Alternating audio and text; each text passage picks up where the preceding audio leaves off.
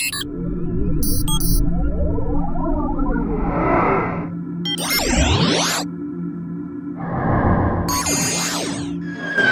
Marcus.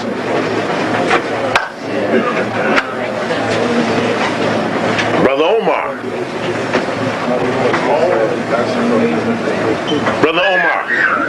I, I need something uh, grapey or lemony.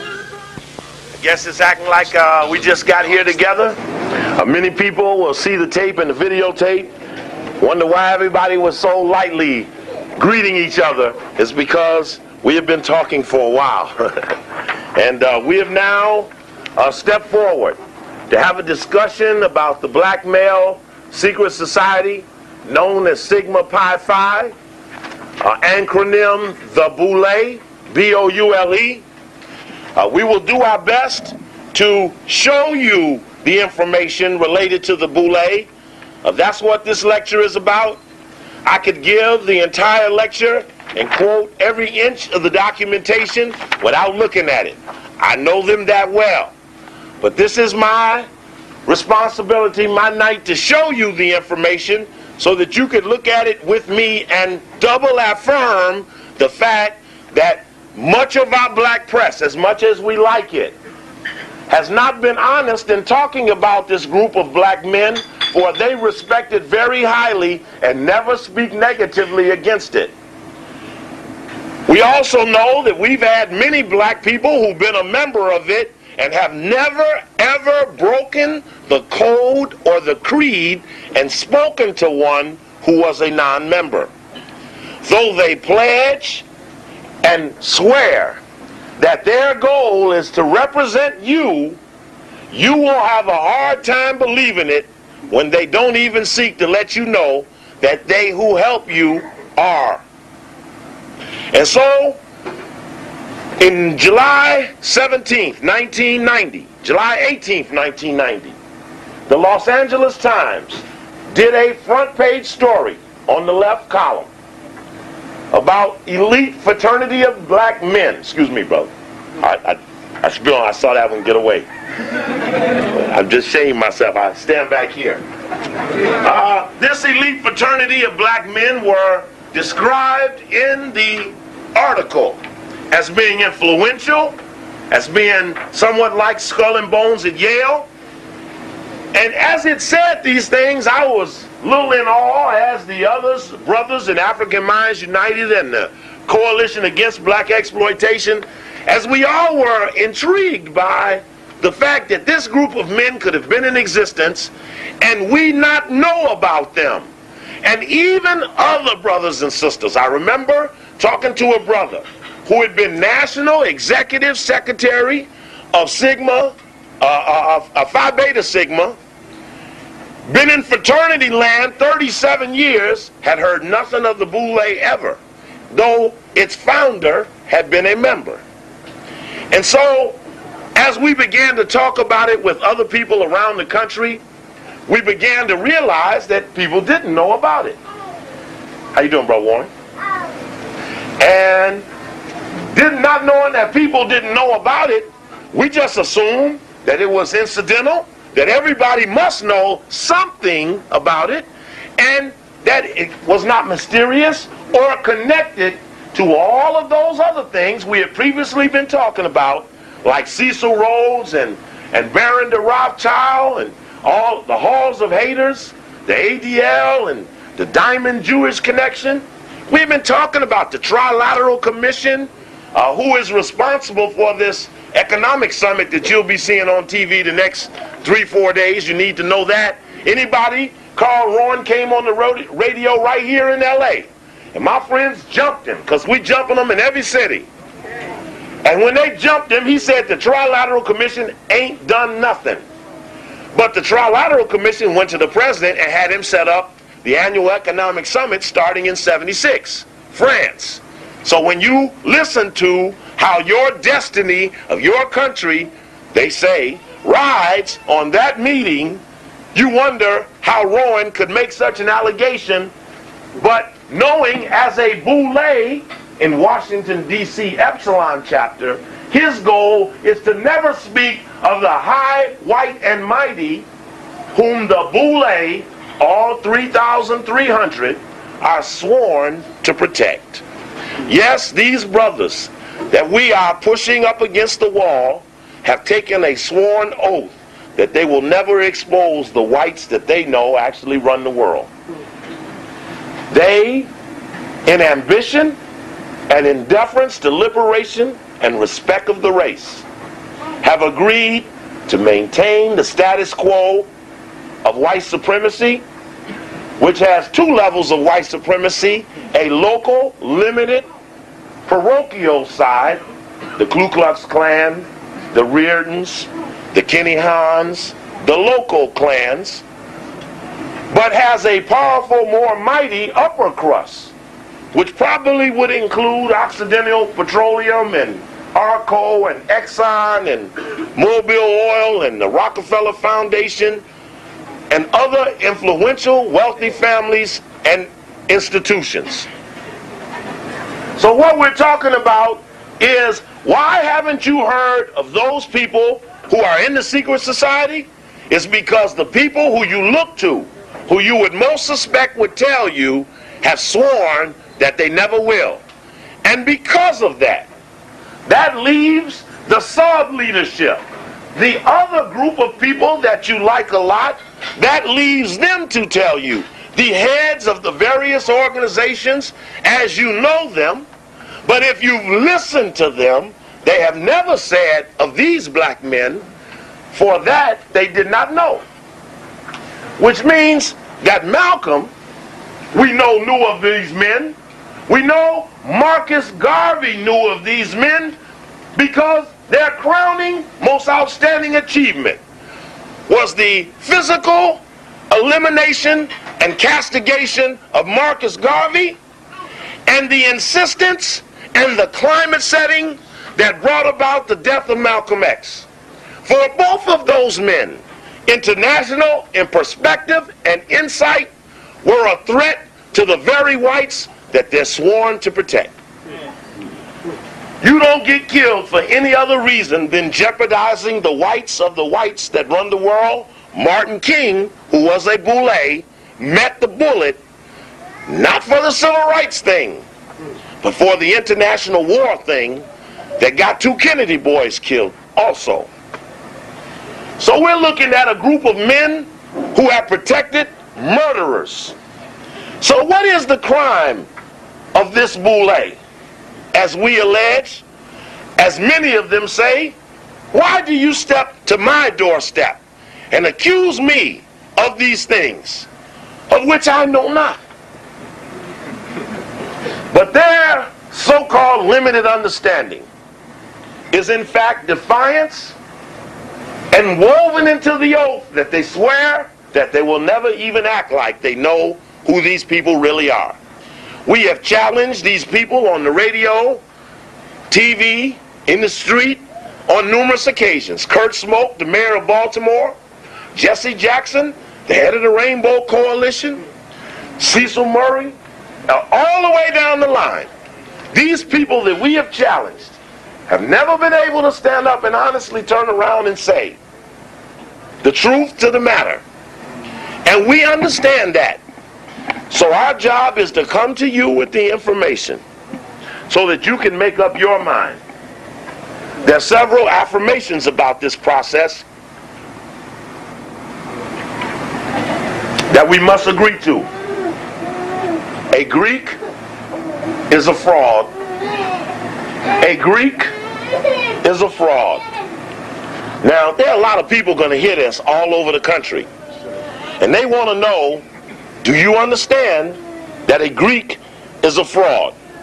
So I want you to holler out if you think that a Greek is a fraud.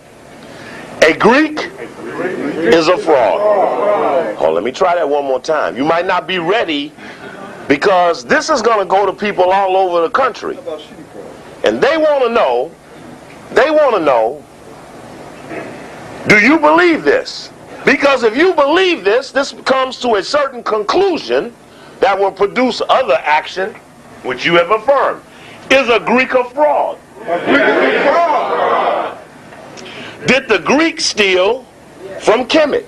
Yes. Okay. If the Greeks stole from Kemet and a Greek is a fraud, what then is the fate of those who have perpetrated the Greek in spite of the fact? Fraud. Plagiarizers. Death. Fraud. Ah, there, somebody finally caught on. Everybody hollered fraud. Okay, that's the crime, right? Somebody else gave a sentence. the suggestion is clear that the ebony 100 most, 100 most influential ought to be minus 9. It ought to be the top 91. Because the nine Greeks ought to back out while there's still time. I'm making a suggestion to the Greek connection, even to those in the room. You might be just an alpha or a sigma, or a zeta, or an AKA. You might just be a little, a little Greek. That's right. But you are Greek nevertheless. And soon you're going to see. Because when someone tell me they're going to back up a move on the boule, the first move you're going to see on every telephone pole in LA is the Greek thing is dead. That's the first move you're going to see.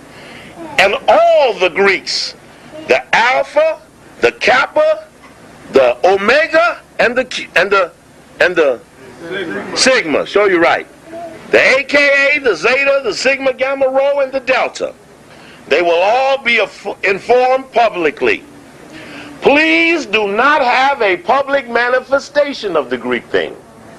Don't have a big dinner. Don't have a big reception. Don't put it in the paper that you're coming. Because I suggest to you that we're going to start to visit you at your things That's right. and ask you to prove your Greek thing on the spot. In the back row will be the cameramen, because everyone's going to need to see your faces when we show up. we might dress up like a Greek and act a little Greek so you can get a reflection of yourself. That's right. I said clearly, if you remember JFK, when they was running around playing Roman. Hmm. All right. So we make a suggestion that we're in a process of penetrating a group of circles. And that these circles are webs which are numerous organizations just beyond the boule. You see, we have done it right here in this room. We have asked members of Greek fraternities to show the handshake to the others in the audience. And on every single occasion, they have refused. And that goes to show that even though we may be in their best interests, there is a bridge that will separate us, which cannot be tolerated when we're under attack. We did the lecture Africa 93. We showed that the white man is pushing colonialism without hesitation and he's saying it publicly and openly. And under those circumstances, deviation can't be tolerated. So some of you who have asked, what can you do? Will be asked, can you go to the big white hotels where the Greeks give the other Greeks their money? Can you go down there with me on the night, Friday night, when they got the big dinner? See if we can get some answers for this Greek thing. Hold up some pictures of Greek and ask them which one is their daddy. Hmm. Or hold some pictures of some fallen Cometans or Akibalans or Azanians and ask, do you support the ones that did this? Hmm. We must confront our people. For it is our people that have tolerated the jam that we're in, and these people are at the top of our people. As a guarantee from white people. Yes, the whites guarantee the Boule prosperity and notoriety. I'm telling you, we done put a lot of pressure on these people. Turned a lot of them into flat tires. Hmm. I saw one of the tires blown up last week in the LA Times, trying to put air back in a tire we flattened for supporting the Boule. Check. Check. This is the founder of the Boule, Henry Minton. If this was color, you'd see he's light, almost white. Because in the early aspects of the organization, there was a lot of that.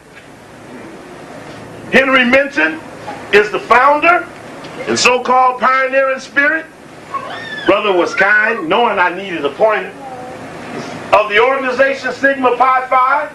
The head man of the organization is called the Grand Sire Archon. A-R-C-H-O-N is what a member is called after they have been inducted. They're an Archon. He was the Grand Poopah from 19, uh, 1908 to 1909. Then became Grand Sire Archon Emeritus. The Grand Sire Archon is the head of the national boule. The head of the local boule is called Sire Archon. So the head of the LA chapter is Sire Archon. A member in any boule is called just Archon. So as Archon is a member, Sire Archon is the local head, Grand Sire Archon is the only head, the titular head. The Grand Sire Archon and those other top positions of the boule have absolute and supreme authority over every boule chapter, which are called subordinate chapters. Every subordinate chapter of the boule is compelled to respond to the wishes of the Grand Sire Archon and the executive committee. This is a discussion about what Minton was thinking about in 1904 when he wanted to set up the organization. This is from the history of Sigma Pi Phi. That's the history book of the organization. The history of Sigma Pi Phi. It's written by an alpha named Charles Wesley, who wrote the history book for A Phi A as well. Didn't he? Didn't he? And then the alpha's here. And yes, yes, okay, he did write it, yes. In that, he said, in summary, Minton wanted to create an organization which would partake, in his own words, of, quote, the tenets of skull and bones at Yale. Hmm. Now, in the July 18th article on skull and bone, excuse me, on the boule in the LA Times, and I'm going to show you the original article that we first found uh, on the subject, and I want to show you what it says because in the article you get the impression. And I just want to, when they say skull and bones at Yale, that's what they're talking about. That's that's the logo for Skull and Bones at Yale. Now, who would want to be patterned after that? because that doesn't look positive to me. Now you're already a damn Greek. Now you done went got some some some poison. So that's a double header. Okay, I'm looking for you this opening article. Here we go. This is a little hard to see when I'm up here, so it's a little difficult. Hmm. Let me take this off. It's a little warm in here. It's even warmer up here. This is the original LA Times article. Everybody see that? Did you see that when it ran in 1990? You did see it. No, you didn't see it. What's the date on it? That's July 18th, 1990. Elite fraternity widens agenda of black men. This is the original article that came out on the Boule that we just casually discussed here at the Good Life, which led to this penetration. Because by the time Brother Oswald gets up and starts decodifying a little of that symbolism, you will see that we have in fact cracked a riddle that has contained our people. Our people have been contained by an organized element of secret people who have used riddles, mysteries, and secret societies to jam us. And what we are doing is we are unlocking or decodifying the mystery because once decodified and exposed, those who are secret in the light will not be as effective. Which must be our goal since liberation is not theirs. You can't liberate as a Greek. You can't liberate in the name of Greece.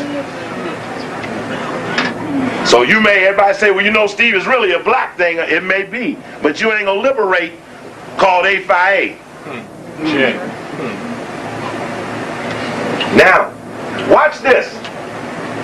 Now come the men of Sigma Pi Phi, a once secret black fraternity.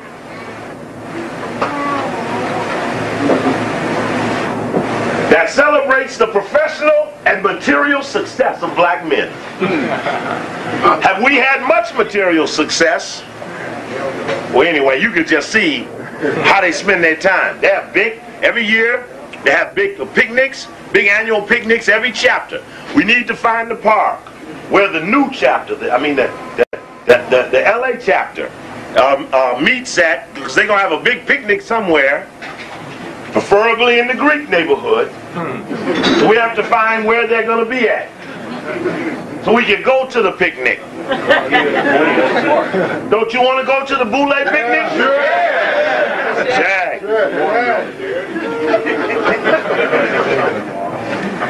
Known as Boule, pronounced Boule, the group is here. See, Boule, Boule, B-O-U-L-E.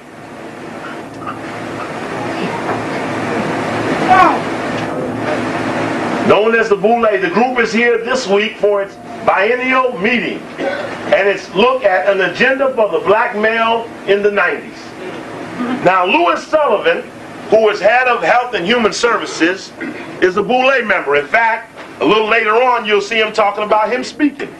It was not in this one, it's in the other one.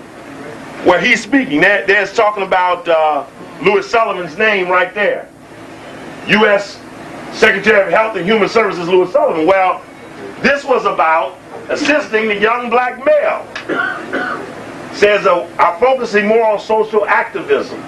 Too many young black men, said the civil rights group, are underemployed, alternatively feared, and re- reveled and living at a risk. So they're going to help young black men.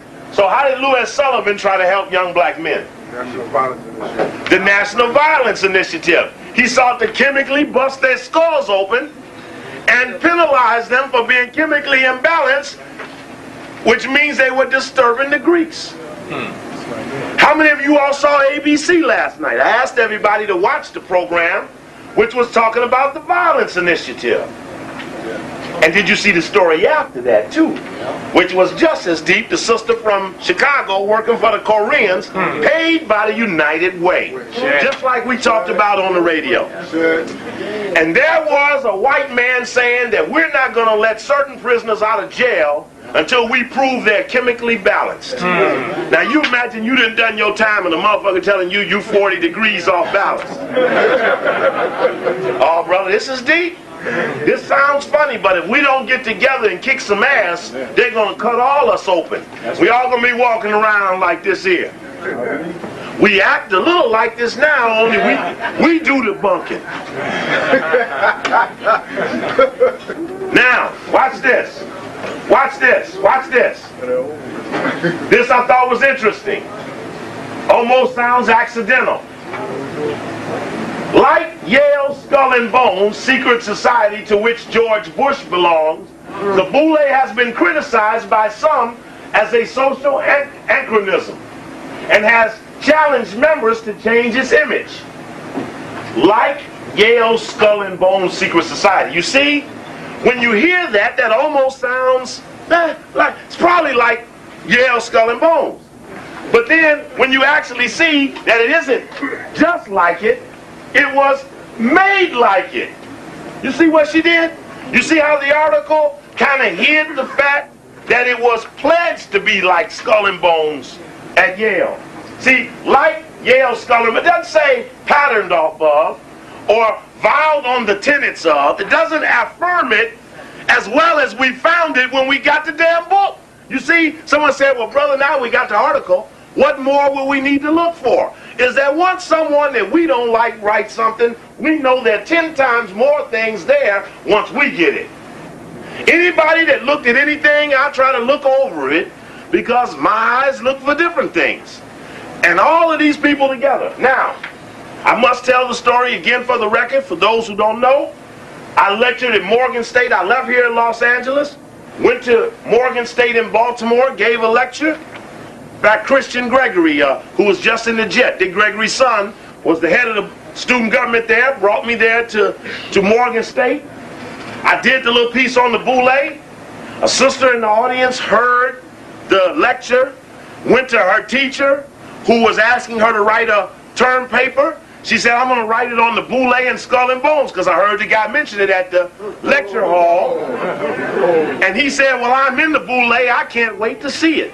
Ah! He asked to take her to lunch. He's a very nice looking sister. He asked to take her to lunch. She called me up. I come back to LA. She called me here in LA at the hotel. Asked me what should she do. I asked her if she could have lunch with him without lifting up her skirt. Because that's what the boule wanted. wanted the boo day.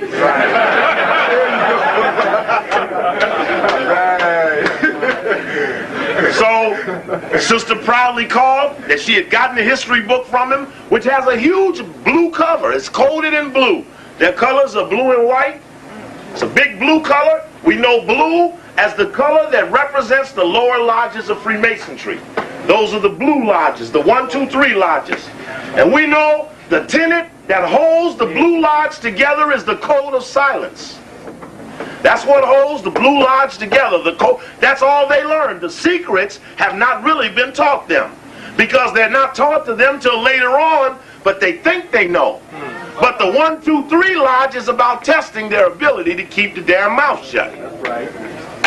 All right, give me a check on that. Yeah. That's why the United Nations is called the Blue Helmets. That's right. That's why the police are the men in blue or the blue lights. Check. Because that's what they, and that's why their organization is called the Fraternal Order of Police. And I don't know what Willie Williams thinks. But if you take a white boy that been my enemy, that supported Gates, supported every beating of your head every time, and make that asshole motherfucker deputy mayor over the brother. That's right. I'm telling y'all, y'all in big trouble. Y'all excuse my language. But I want to emphasize. I wanted to emphasize the danger of the head of the Fraternal Order of Police becoming deputy mayor for public services. That's right. You might not care about politics, and I don't either. They're all whores. That's right. But we better not let them turn a trick and one of them legs kick us in the face. so for no other reason, do it for that reason. Boule is a Greek word designating a council of community leaders who advise kings. Hmm. Now a question ought to come up. I understand what a counselor does, but who the fuck is the king? Now we have a tape where you all remember the book called Black Power? Yeah. It's written by who? And Charles Hamilton. Very good. Charles Hamilton, four years after he wrote Black Power, joined the Boule. Oh. As he then went, started making $100,000 with the Rockefeller Foundation. He went on Bob Law's show recently in New York, and the Cokelyites in the bowels of Brooklyn, Harlem, and the other bowels of New York jumped him on the Bob Law show about this Boule thing. And they misstated the challenge by saying, I think it's a Latin word. He said, yeah, it's a Latin word. But we know it's Greek. He gave them the decoy. They said, who is the king that you serve? And he said, I don't really know nothing about that king thing. We don't serve any king. I mean, we have meetings and stuff, but we don't know of any king. Well, why then do you call yourself that? In your own history book, you will see that you call yourselves the advisors to the king. And the question comes up, if it ain't so, why do you say so? But see, basically, they don't think you have the information. Oh, just for the record, the day the Boule was founded, for those of you who do numerological analysis, and I know some of you are into the numbers, The historic date of the founding of the Boule, for the record, is May 15, 1904. That is the birth date of Sigma Pi Phi, and it should be written indelibly on the memory of all members in the fraternity. This day was for Boule its Founders' Day. For on this day, the decision was made to establish this first of the fraternities for college graduates. This date, or the date of the May meeting nearest May 15th, has been celebrated as Founders' Day. Now, if you all were at AMU one night that we did a lecture called L.A. Boule Coup d'etat Implications, where I talked about the coup d'etat and the JFK movie and about the Boule, and there was a guy sitting in the front row who was in the Boule. That's right. And he said to the audience that he doesn't even read his history book. But we know from the history book that every chapter must review the history book during the month of May. But again, they never count on you having the history book, so they don't answer you as if you know. They answer as if you don't know or never know. That's why they don't like us like they do. Because we're arming you and putting you in a position to demand answers to questions that they never expected they'd have to give up. That's right. This is compelling. Uh, we're going to look at some codified things that they talk about. Uh, uh, there's some funny things they say. Uh, from their history book is another dialogue we want to look at. This is, as you can see, History of Sigma Pi Phi. As you see, I write on my stuff. Uh, the things you read, write on. Talk to it. Hold it for a while. Quit throwing it away as soon as you get it. In your house, there's a lot of pressure not to be junkie. You'd rather be dead than junkie. You'll be dead because you won't read and study, and you don't study because you don't store it. How can you study unless you store it? So because you have pressure to be neat and cool and clean and look like Ultra Sheen, you throw away the information and fight the dust busters. I suggest your houses need to get slightly more junky That's right. as you start taping on the wall the information so you can study it, sleep it, dream it, wish it. Pray for the right that you're given the axe the night we have to slay Goliath's head. Pray you get a slash. That's right. Your children are going to ask you, Mama, Daddy, where were you when the liberation came down? Were you in on the victory? That's right. Have something to tell your children. Sure. Derek, sure. Page 38 of the history book. In the building of the organizational plan. See, what was the niggas thinking about? That's what, what was the niggas thinking?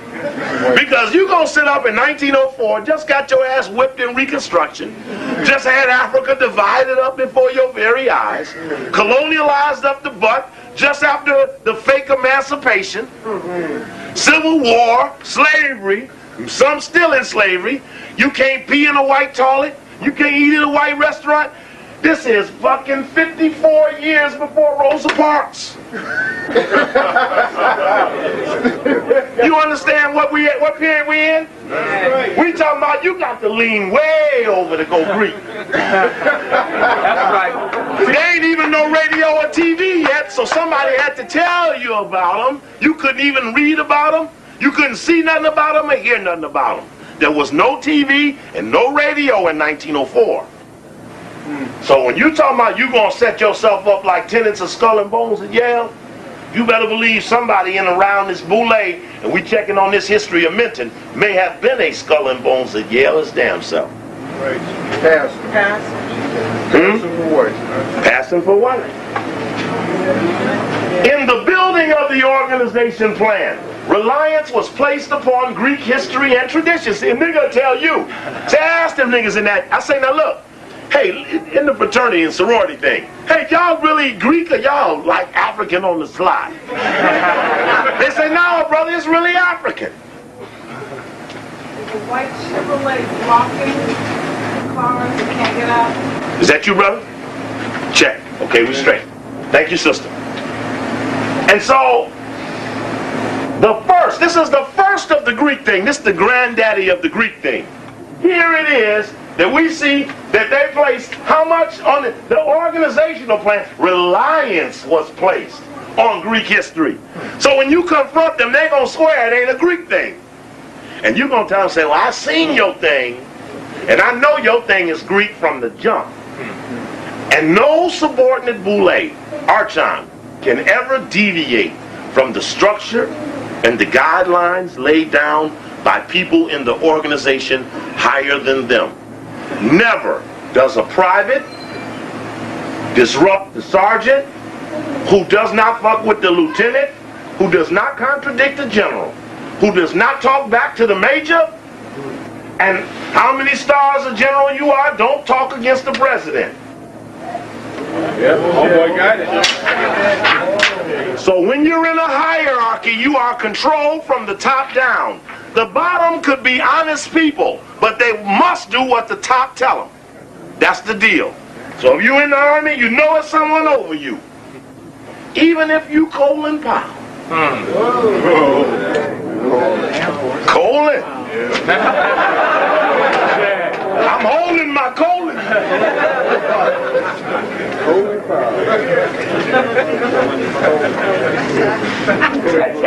Come on. Come on. Okay. Oh, you know what, bro? Anyway, I take that. I'm gonna need some of your water. Okay. Let me see if I can tighten that up a little bit. Okay. The reasons for this action are not difficult to discover, for it was well known that the study of Greek civilization was basic to an acquaintance with Western civilization. Which means, what do that say? They, they had to give one white. Say, we better learn Whitey if we're gonna get with Whitey. Check? And all who came after them is Whitey on the slide. Somebody get mad and throw their rings back and shit and reveal all the secrets. You have been told that the other members will beat you if you do. And I tell you now, if one of you break away from them funky fake Greek organizations and someone even threatens you, please tell me we will show them the law. That's right. The law. That's right. This ain't constitution. This the law. Acquaintance with Western civilization. Although Greek culture had relations with the culture of the Orient, holy now. Seemed like they skipped over somebody. Let me go back. You see, this might not just be an affirmation of Greek, but this is a denial of Africa. This is more than just I'm for this. This is I must not even recognize any other. Thou shalt worship no idols before the Greek. Right. And then go jump over to the Orient. Ain't that some shit? Look at this shit. There it is. There it is.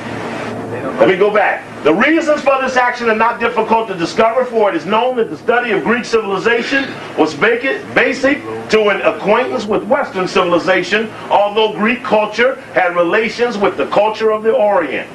Moreover, the Greeks were successful in their creation of free institutions. God damn it.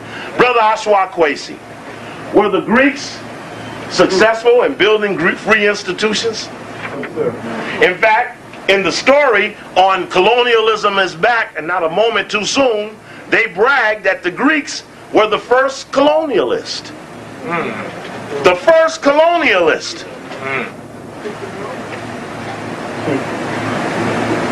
Moreover, the Greeks were successful in their creation of free institutions and of organized city-states.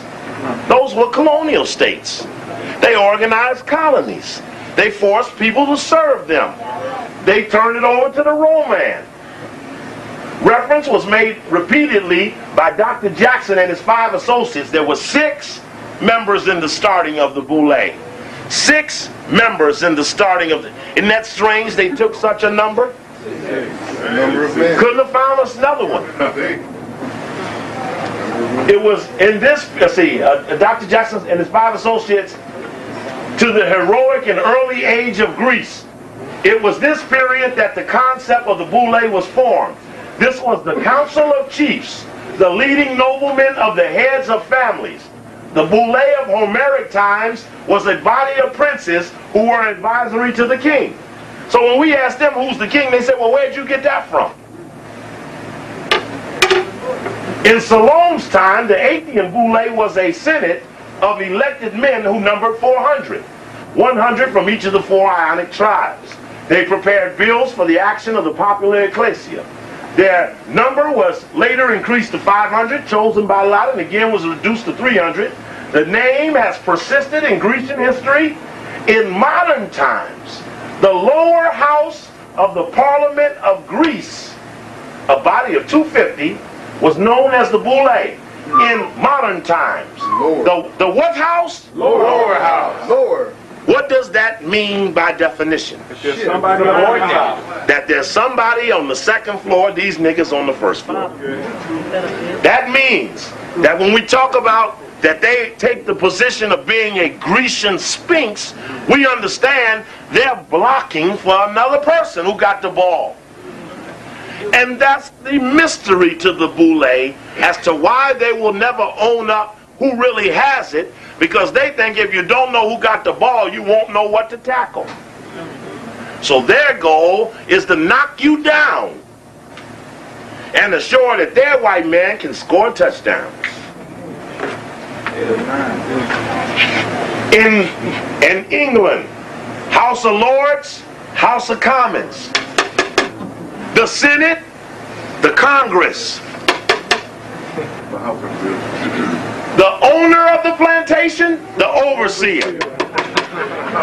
Understand this. Understand. Imagine you're on a plantation and there's a guy on a horse with a whip making sure you're working White House. and never thinking about who's in the house and never seeking to overthrow what they know was illegal. Hmm. Counselors had to pass an examination in which their past lives were passed in review. We know that in Skull and Bones at Yale, when you do your initiation, you have to lay in a coffin butt naked. And you have to talk about your past lives, and everyone has to hear compromising stories about yourself that you tell other members to protect you from ever getting out of line. That's right. You seal your secrets in all the members. So there's a lot of homosexuality going on. I know Erwin France, who's a big time boule in Chicago, is big time homosexual. Big time. Big time. An oath was taken to observe the laws, to give advice according to the best to his best power, and to examine his successors with fairness. Anyway, that's interesting. Let's go back over here a second. We don't want to appear as if we were remaining above the problems of most black people. We know we didn't get here solely by the dint of our own hard work. Mm. We owe a lot of people, and we have to give back to our brothers and sisters. So you already know that they say they owe you. Right. Now you just knew who they were. Mm. So you could collect. Now the first Boule chapter, the first Boule chapter, oh yeah, bro, we got it all. Yeah, we got it. They ain't get it. This is the, this is from the rostrum of Sigma Pi Phi, and this talks about the date, the, not the date, but the order. Every chapter is named after a Greek letter of the alphabet. Hmm. When they finish, they start the alphabet over with alpha. And then, after you run out of alphas, you go into beta alpha and beta beta. Now, seeing that they run out of letters, you think they go get some Kemetic shit or something, you know? Since they ain't got enough Greek letters to hold on. Now, imagine you had an organization in Philly, Chicago, Baltimore, Washington, New York, St. Louis, Kansas City, Detroit, Atlanta, Columbus, Northern New Jersey, Houston, Los Angeles, Minneapolis, Palmer, Arkansas, Pittsburgh, Dayton, Cleveland, Charleston, Nashville, Tuskegee, Louisville, New Orleans, Virginia, Berkeley, Cincinnati, Dallas, Tallahassee, Indianapolis, Oklahoma. You see what I'm saying? These niggas got somebody in every city and they still ain't doing shit for the people. You have no organization in America in that many damn cities. But now you got 3,000 of the wealthiest black men of your race aligned in every city, including Liberia, Monrovia, and don't bust a grape. If, the, if one boule in every one of them cities told on a white man, you'd be in better shape. First chapter was Philadelphia. Started 1904 in Philadelphia. Second chapter, Chicago. Daniel Hale Williams, first man to do a heart surgery. He was one of the founding members of the Chicago Boule.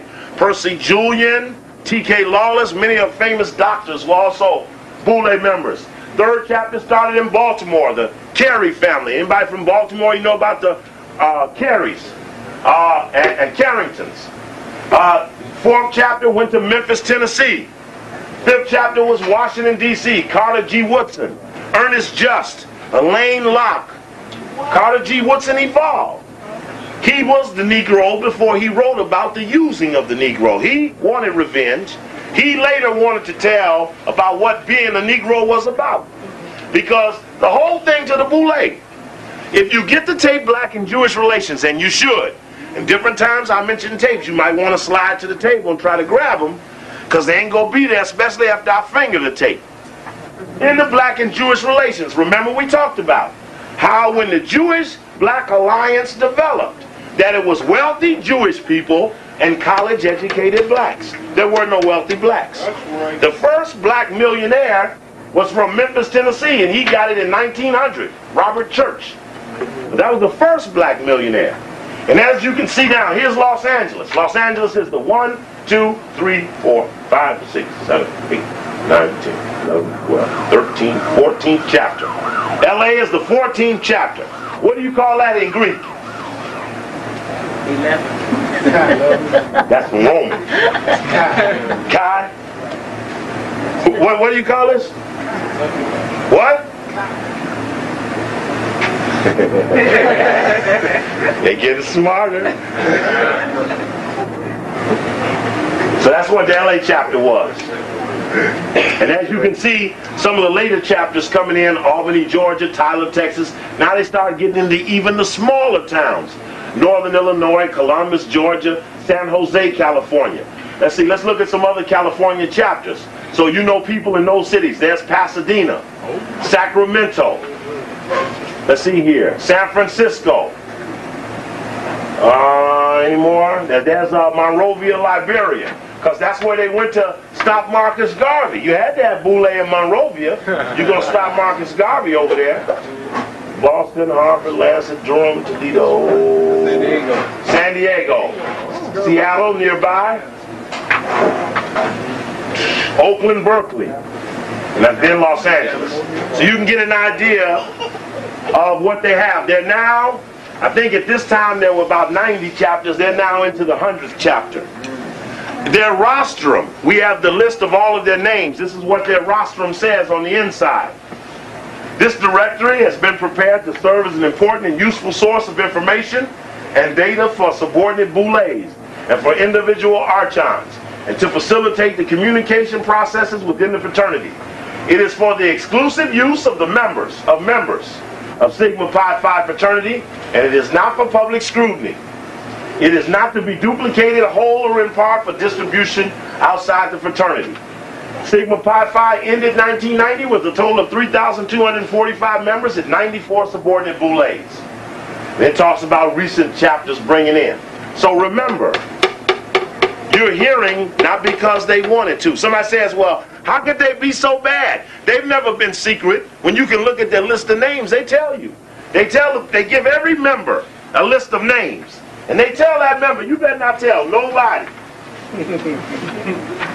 And this is their directory. This is the names of every Boule member in the country.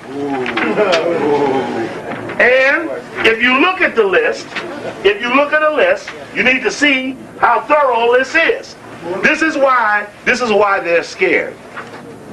Every Boule list has their home address on it. Oh, that's right. Every Boule member, That was for the king. we could knock on their door and visit them personally to get a bet. It's Carl T. Rowan. Oh! We're at 3116 Fessenden Street, Northwest. Yes, turn it over. Washington, D.C. This is the Washington, D.C. list. There's C. Payne Lucas. He's head of Africare. He was one of them shaft in that. He was at the shaft in Africa meeting. The Black Summit, which was financed by the Ford Foundation, which we proved helped kill Malcolm X. What's his address? 4241 Matheson Drive, Northwest. Here's Vernon Jordan, nigga in the White House. Uh, here's Ron Boulay Brown. oh, he on the other page. huh? Let's see. Yeah, he's on the B's. He's on a page before this. Uh, so you can see, you can see that the Boulay don't want this type of information public because it's all inclusive. So you understand that when we say we're asking them something, you understand how many options we have. Give What's LA? Give you LA. Yeah. As soon as you know why, I'm gonna show you. Show you right. This is uh, the author of the Boule. It's Charles Wesley. That's another book he wrote.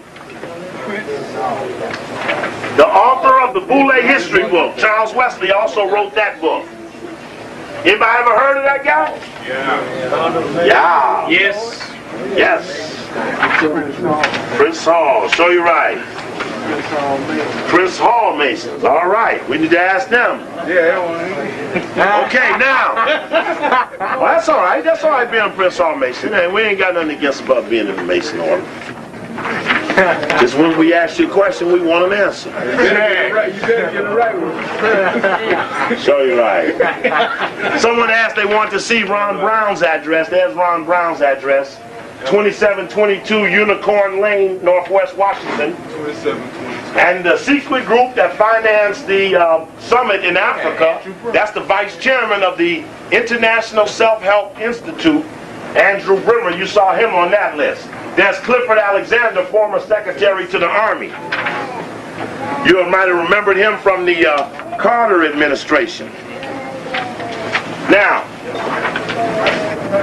there's a series of things I want to lay up here for you. Everybody all right? yeah. It's a little tedious, so you gotta hang with me. This is our last night, and I want to make sure we got everything going right. Now, watch this. Now, let's imagine what's our goal. One of our goals ought to be to sneak in the night they're having a boule ceremony. You know, initiation. One thing that is not in the history book is the ritual. It's very. I need to tell you this because one day I'm gonna come back and say I got it. I'm gonna say I got it. I got it. We're trying now to get the ritual process. You can see here there's a clue to something about the ritual here. Riding the hump.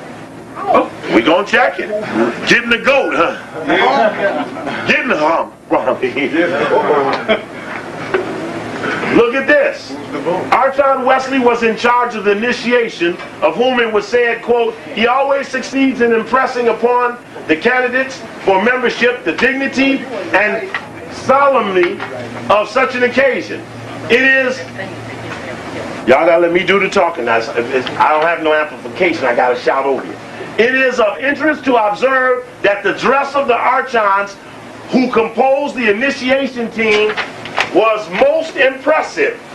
They were robed in Greek costume, and each had a fillet around his head.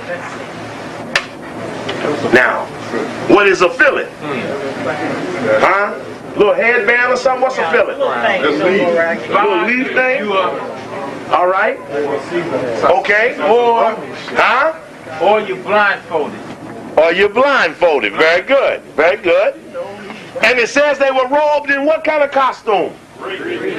So don't let them tell you they ain't in, they ain't in no Greek thing. When you say, nigga, when you walked across the sands, you wore a robe. oh, I'm sorry. Anyway, they were robed in Greek costume. Don't forget that. Robed in. We need to. And that means every one of them in that closet got a Greek outfit. Check. All right. That's going back to what a boule is. All right. Now,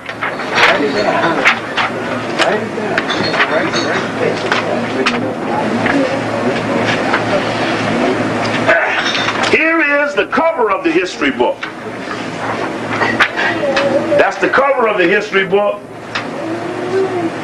That's what the cover of the history book looks like. The history of Sigma Pi Phi. As you can see, right, the first of the Negro American Greek letter fraternities by Charles Wesley. And that was the uh, anniversary issue. We have found about three or four different versions of the book as it's been updated. We have a 55 version, we got a 69 version, and we got an 83 version. So we're constantly trying to keep up with them. As fast as they get them, we try to steal them. We're doing our best to keep you up with them as fast as possible. Now, I need to show you, I thought this was interesting. This is the uh, Boule when it was founded in, in, in uh, Memphis. You can see that they use esoteric symbolism sometimes as they put the triangle behind them. Now that was the Memphis chapter when it started. I thought that was a little interesting that they aligned themselves like that. Look like what? Yeah, you see they're all light on the page. But that's uh, that's uh, about what we would suspect. Now we know, we know that that wasn't a Greek symbol. Check? Check. We know if you just even take the book by Brother James, Brother George James, Stolen Legacy. And if you just look into the index at the front of his book and start looking at certain things that he says in the index, you will dispute all of the tenets that are listed in the Boule history book. In other words, in the Boule history book, it talks about Aristotle was the first to do this. Plato was the first to do that. Socrates did this. Right? You can take Brother George James's book, who may have died a Masonic death. Yep. Check. Check. Check. Who died a Masonic death. And just look at the opening part of his book. You must get the book. Because this book will assist you in this exposing to the Boule why they are a fraud and a fake. And you can do it by using his book and and he talks to you in the book about why he did the book and what was his desire for doing it. And if you have no rationale of your own, use his. Consequently, this step of the African legacy by the Greeks led to the erroneous world opinion that the African continent has made no contribution to civilization and that it is a people are naturally backwards. This is the misrepresentation that has become the basis of race prejudice, which has affected all people of Mm. Right, that's it. That's So if you don't want to check it for no other reason, understanding that doing the Greek thing magnifies and plays into the dominant element that subjugates our people worldwide, that we were an inferior people. You with that? Yeah. We get some check on it then. Yeah. All right. Now, let me see what I got here. I say this is a little hard to do uh, because it's hard lining them up. Uh, let's see here. This is another little picture about skull and bones. This is from, uh, I want to show this because this is from uh, the covert action when they did something on skull and bones. But they mentioned that in the CIA there was a thing called a bone cell. In other words, you take the CIA and they're a secret group, and then you double seal a secret. You set up a mission, say we're gonna kill Malcolm X. You set up a mission where not only are they CIA, but they may be double webbed into another organization that compels double secrecy. You with me? So now you're trying to protect a secret and you're welding it two times. You're putting a double lock on it. So when we saw that spy story that had come out about uh, the spy story that had come out um, uh, in the Memphis Commercial Appeal, uh, when we saw the spy story, we saw that there were numerous black men who were in on the spy story, who in fact were also Boule members, which means that they may have been a cell. And that uh, is important to us because that means you're double sealing a mission. And uh, we have to keep up on that level. Now, looking for a certain something I want to drop up here and show you right now. This is uh, an old Boule journal. They have a magazine called the Boule Journal. That's what the old Boule Journal looked like. Then came a later version of the Boule Journal to look like that. Uh, as they're constantly uh, redoing their fronts, this is the founding of the DC chapter. Some of those names, if anybody's in here on Omega, you'll see Ernest Just, Carter G. Woodson, uh, uh, E. French Tyson, E.C. Williams, Garnett Wilkerson, Milton Francis, John Francis, Kelly Miller, Miller, Charles West, Ernest Just, James Cobb, Robert Terrell, Roscoe Bruce, Fonzo. Just every chapter usually has a picture in the history book like this of the members when they formed that chapter. Again, uh, for their own history, uh, for their own uh, group, uh, allowing each of them to protect uh, what is important to them, which is their tradition. This is a very important thing for them. Of course, we know that there's a group of them, and they work in and out of a group. We know, as we look later, that they work off the number nine. That the nine number includes the four male and the four female, which in fact gives us a clue that it's a package deal. That we could not just be against one, we had to be against all because they all were hooked together. And that no one was any separate from the other. Let's see here. Here's a, a eulogy to Charles Wesley, who wrote the history book. In this eulogy to Charles Wesley, we learned several things about the Boule, which we had not learned in the past. This was uh, quite an accident. In fact, let me just slip this up ahead of you. This was the story from the Memphis Commercial Appeal, the Army's Black Spy Network. That was a story you, you all might have heard about it on KPFK. Uh, uh, somebody read it out to you. Army's Black Spy Network dates back to 1917. I'm not going to spend all night showing this, but here, right here, Baker's special assistant was Emmett Scott. Newton Baker says here, the system that would question the loyalties of black Americans for generations began May 3rd, 1917. That day, Secretary of War Newton D. Baker ordered Van Deman to crank, to crank up the department's sleepy military intelligence division. Newton Baker had a special assistant's name was Emmett Scott. Emmett Scott became the grandsire archon of the Boule. Robert Moton, Booker T. Washington's successor at Tuskegee Institute, came aboard, as did C.V. Roman of Nashville, who sent Loving, who will work for DeMond, a list of potential black informants and troublemakers. So we're looking at four Boule men who in the early 1900s were locked into a story that really came out about Martin King. The key to the story was that when we investigated the names, we found out they were Boule members. I bring that up in collaboration with the earlier shot I showed of the um, of the uh, cell of Skull and Bones at Yale, because they then began to depend upon the Boule to identify people around the country, which is very interesting because that meant that you could be fingered unjustly. Wouldn't it be something some old Boule come up and fingered you as a troublemaker? This is a, a modern day Boule journal, the inner sleeve of the Boule journal, listing the officers of the Grand Boule. I think I'll use this as a chance to show you what the officers are, what positions are in the Boule. I'm not good at saying Greek, so you have to bear with me as I read what their Greek name is. See, this was the Grand Sire Archon.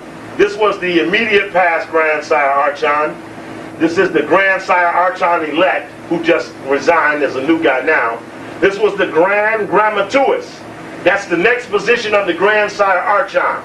Then the position is grand, there's, how you say that? The dark. Grand Thesaurus. thesaurus. Okay? I ain't good at Greek, so I ain't gonna be able to do it good. This was a guy who became school superintendent in Chicago. The, uh, Dr. Matthew G. Carter, he was the grand grafter. This guy was the grand leading archon. This guy is the grand lecturing archon. The next guy is the chairman of the Committee on Audit and Budget. Theodore Jones, interestingly enough, when Coin and COINTELPRO came out, Theodore Jones, who was the uh, chairman of the board of the NAACP, got revealed as having been an FBI informant for J. Edgar Hoover. He was always, for many years, the treasurer of the Boule, and between 84 and 86, he was the grandsire archon of the Boule. The, the chairman of the Social Action Committee, chairman of the Constitution Committee. So those are some of the positions that make up uh, Boule. And uh, uh, we be up on that, uh, basing it on, in fact, here are the current Boule leadership disappeared. See, if you don't know the names or aren't familiar with it, they can put it right in front of you and you wouldn't notice it. This is the Society World page of Jet Magazine, August 10th, 1992. It's hidden right in the middle of the story. Well, there we go. It's right up top. Cocktail chit chat. when the 41st Grand Boule of Sigma Pi Phi fraternity convened at the Plush, they always brag about how plush or how prestigious their location is.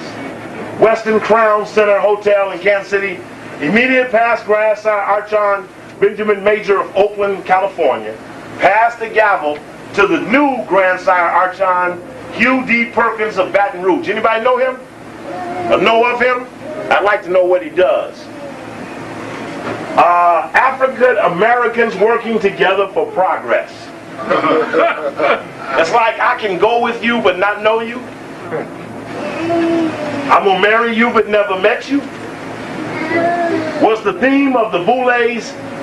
Was the theme of the Boule? Roy Roberts, manufacturing manager of General Motors Corporation, Flint Automotive Division, was the dynamic keynote speaker. An evening dinner lecture of the history of Kansas City jazz and an enjoyable picnic where more than 784 archons and their families feasted on some of the delectable Gates and Son barbecue. Could we get some pictures of them boule eating them bones? were among the boule highlights. Accolades were heaped upon the general chairman, Elmer Jackson Jr., and his state theta boule, Kansas City, Archons and the Archausas. A boule wife is called an Archausa. And uh, when a boule member dies, his boule pin has to be given to the wife to be buried in his grave with him. It has to be buried in his coffin. Uh, to get in the boule, a person has to uh, uh, to get into the boule, a person has to recommend you. Your name is taken to a boule committee. The committee investigates your history. Having investigated your history, they have a vote recommending you for membership or not. Then you are approached and asked. In other words, thousands may be investigated and never initiated. You understand that? In fact, um, here's uh, let me see here's some Boule Boule song. Boule is uh, steeped in symbolism. Here's a picture of Emmett Scott, who I showed you on that article, as he became the grandsire archon at the meeting that was held in Los Angeles in 1941. And I said, as I mentioned earlier, isn't it strange that the Boule meets in Los Angeles and meets up at the Greek Theater in Griffith Park? And I went up there after the radio show the other day and looked at the symbolism up in Griffith Park and uh, at the Greek Theater and at that Manly Palmer Hall location that sits down another one of those streets. Manly Palmer Hall, who was a big time Masonic writer. And uh, there's a ton of symbolism uh, hidden in and around those areas. And uh, uh soon uh, we'll get it on videotape and share it with you. Uh, some of the things we saw that we went around on that little escapade there up in the mountain. Selection of Emmett Scott as grandsire Archon was one of the singular events of the Sigma Pi Phi's history, which had significance for its war relationships during these years. Archon Scott had served during World War I at the years 1917 to 1919 as Special Assistant to Secretary of War Newton Baker. Well, that only further verifies where he was, but it doesn't say he was a spy. which the story collaborated he was. Now, y'all all right? Y'all need intermission? No, no. Y'all look like y'all hot. Now, let the people standing up make some decision. Y'all all right? Yeah. Y'all okay? Yeah. Okay. Now, let's get into let's get into a little further the symbolism of the organization uh, and where uh, it picks up uh, certain things. Speaking of symbolism, uh, let me set that up there a minute, and you look at that. See if you can get the symbolism out of that. Thank you, brother. see if you can get the symbolism out of that. Maybe somebody might want to stand up and say what that is. That's the cover of the book written by that white guy. Right? Y'all remember that? Yeah. What's that other picture up there? Skull and bone. Skull and bone. What's that at the feet? What's that at the feet? Cat. What's that at the feet? Black dragon. dragon. Some black dragons biting at Clinton's feet. Clinton is on what? White horse. And what did it say would happen when the white horse came? Yeah. Death. Death for swallow. Yeah, check. Death. Death. Now, how many? How much? How much do they need to tell us before we know what they mean? Hmm. Huh? Do I need? Do we need to say any more? No. So that's the climate under which we operate. What, what is that? Here's what they call a boule song. Listen to this. Let me take a sip here. Sing. Give me a one and a two. One and a two. And one, two. From far.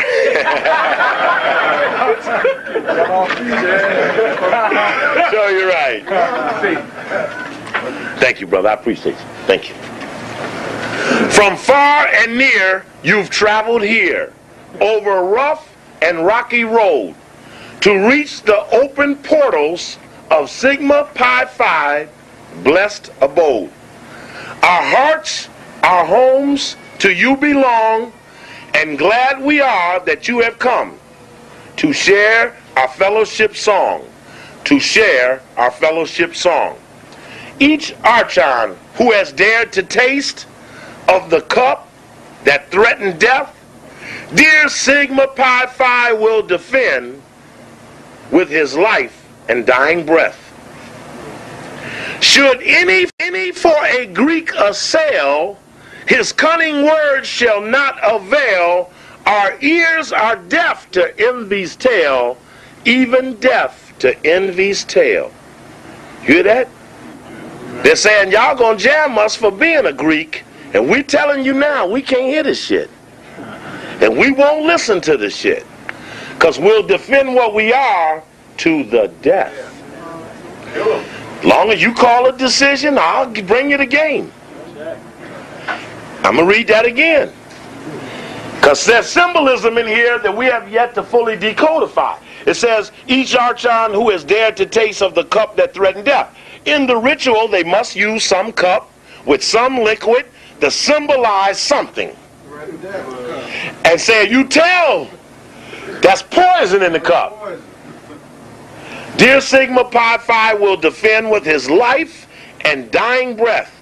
Should any for a Greek assail, they put Greek in quotation marks.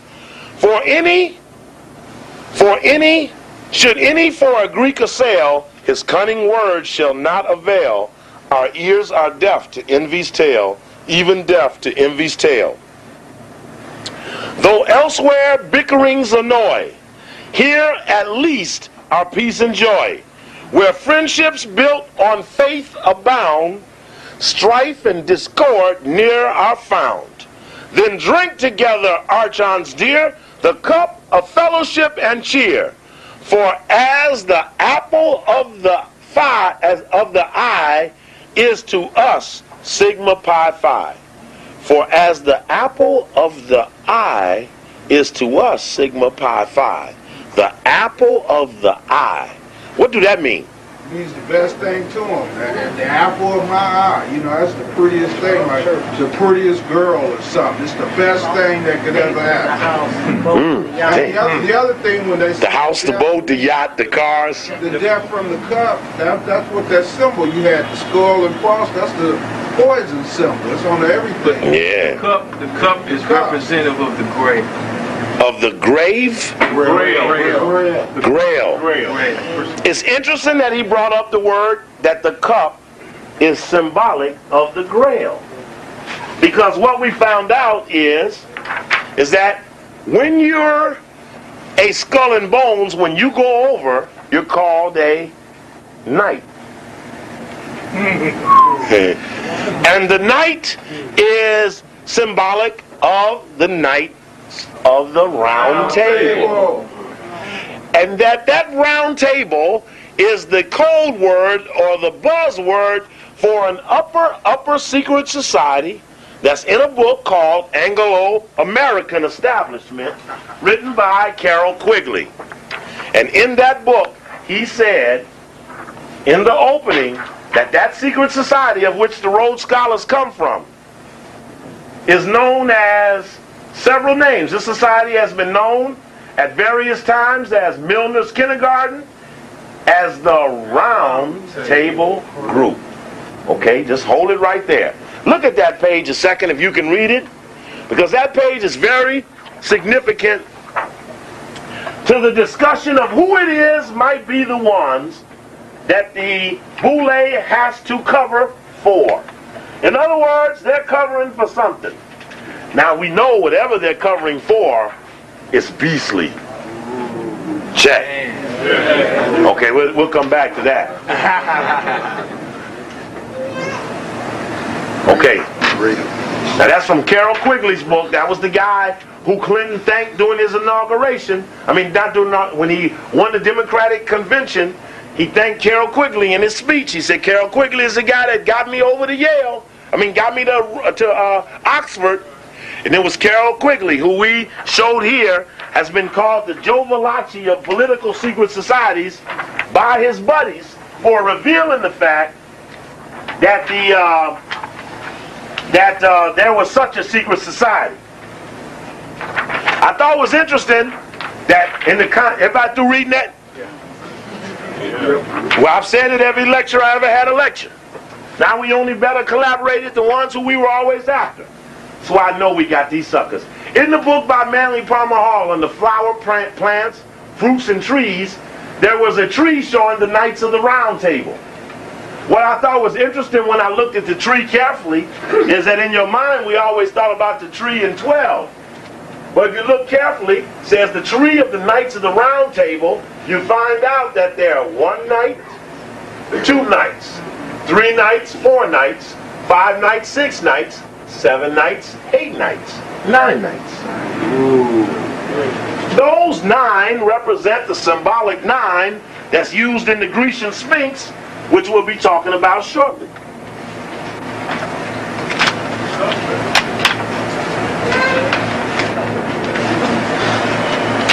Now we're going to show from that eulogy of uh, Charles Wesley's. In that same uh, book, that same night, we found this in tribute to Wesley. Look carefully at the wordage. I'll give you a second to read it. Table round. You find that for some reason they take Alfred Lord Tennyson and put him on the left side and put Wesley on the right side. And the only thing is similar in both discussions is the damn word round table. Model for a mighty world. What's that in the man's hand? What's that in the man's hand? Brother Quasi, does that have any symbolism there, that little spike with the light on it? Oh, yes, sir. What's, what, what would that mean? Uh, Prometheus. Prometheus is the one who stole the light. All the Greeks had to pass burning sands. Burning sands coming across the Sahara to Mount Olympus, where the light was from Ethiopia. That's why we got the Statue of Liberty, because the French gave America the Statue of Liberty because they are the land that they got the new light. You see what happened? Where's the light going from which hand to which hand? It's going from the left to the right. So the white man just stole the light and he gonna let the boule hold on it. when it was theirs from the jump. And that's what the stolen legacy does. It gives empowers one who thieved. Now, whatever they're saying up there, it must be in code because it don't make no damn sense when you read it. In the fair order of the table round, a glorious company, the flower of men, who rode about redressing hum- human wrong. They spoke no slander, nor nor listened to it. When served as a model for a mighty world, they loved one maiden only. One maiden. What is that? What is a maiden? What's a maiden? When they stole somebody else's woman. A woman that stole somebody. So they say it's a group of maiden horses running. Those horses stole on. It's a woman that's been untouched. Uh, Virgin. A woman that's been untouched and pure. Yeah, a virgin. a virgin, a maiden. They loved one maiden only. That don't mean they wives now. And they lived for her through years of noblest deeds. And then here come Wesley. Here come Wesley with some more cold shit. the round table lives. Now he jumps down and makes it make believe again. Only in poetic life and history. They can live again in us. And we can make them live through us. It can continue as a dream. And it can continue again through us. Us means who? Huh? The boule. Now let's go back one. We just heard from Carroll Quigley who talked about the top of the top of the white secret societies. And he says it's known by several names, which you knew that the, anything you ever read on the Illuminati says we will have numerous names. You will not know it as one name. It does not even go under the name Illuminati. That is that Illuminati you've been looking for. oh, Round table. that's it. And the boule will never acknowledge knowledge of it because it's their goal to protect it and keep it secret.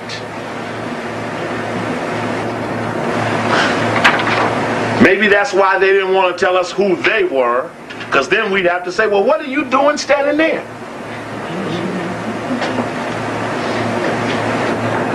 Brother, I'm going to save this one because when you come, I want you to go back to that. I'm going to lead this up for you just right. Now, let's go to the boule. Yeah, here we come, the Grecian Sphinx. Here they come. I'm getting ready to now verify from their constitution. It's like court trial. I really should have set it up like court, but I didn't have time. We had too many things to manage.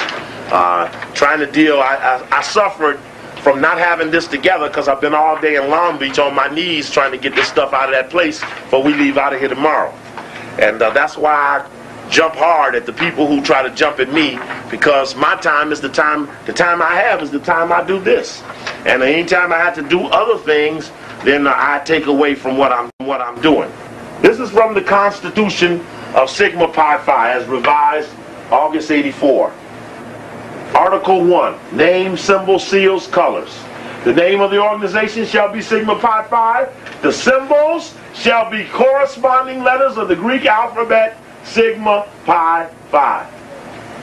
Now there are people who will break this down 50 ways and take you 50 more ways. And I could spend some time telling you some of the things they taught me, but we'll have to save that for another trip. Says here, oh, let me go back. At the end of that line was the seal of the fraternity. Uh-oh, got to bring it down a little bit. Excuse me a second. The seal of the fraternity shall consist of the Grecian Sphinx, and urn and the Greek letter Sigma Pi Phi encircled by a hand bearing the word Sigma Pi Phi Fraternity Incorporated, encircled by a hand. Now, you remember we talk about the hidden hand, the hand. Those articles uh, where they're always telling you something negative about what they're doing, and they always show you the hidden hand doing it. Now you see that picture of hands? Now you say, well, what are them hands just doing out there? Well, the story is called Colonialism is Back. And not a moment too soon. And it openly advocates taking over Africa. Openly. New York Times, August 18th, 1993. Brother, I'm going to get all this stuff for you, too. You, you, you, you'll want this. I mean, they openly advocate it, but this is who they show is doing it.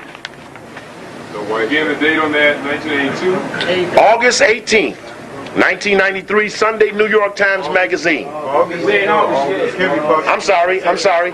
April 18, 1993. I appreciate that. Check check on the correction. But you see little black hands at the bottom and big white hand at the top. And H A N D means something. Different color hand. Show, show. And the hand says, let's face it, some countries are just not fit to govern themselves. We're witnessing today a revival of colonialism in a new form. It's a trend that should be encouraged. It goes right on to say we're going to take the fuck out of Africa and it lists the 10 countries they taking first. This is New York Times, Sunday Magazine. This is the lead paper in the damn country. This is the American paper of the world. This is April 18th, 1993. What's 10? Huh? What's 10? You said 10 countries. Oh, get the tape, Africa 1993. Because I'm, I'm going to stop. It's, it's loaded with stuff.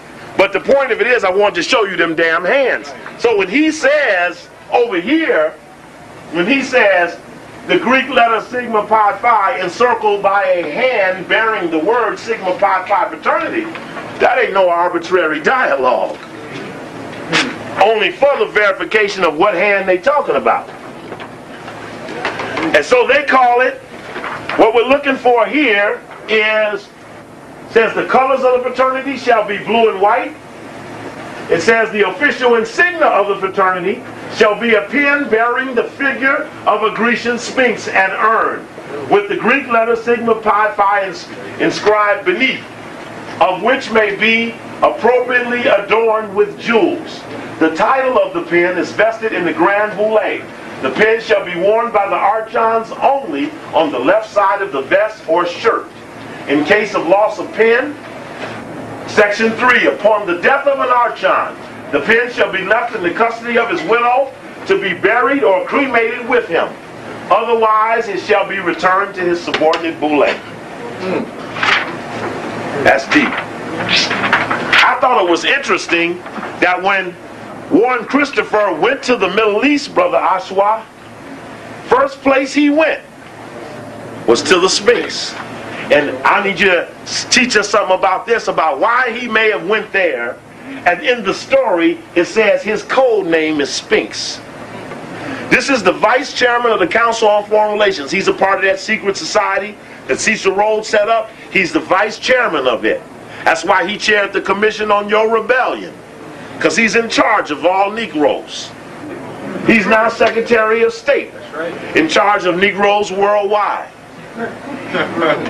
Secretary of State Christopher walks from the Sphinx, which he called, quote, a reminder of the tremendous contribution e- Egypt has made to modern civilization. Now, them ain't the right guys, buddy. Boy, them are not the guys. But he went there.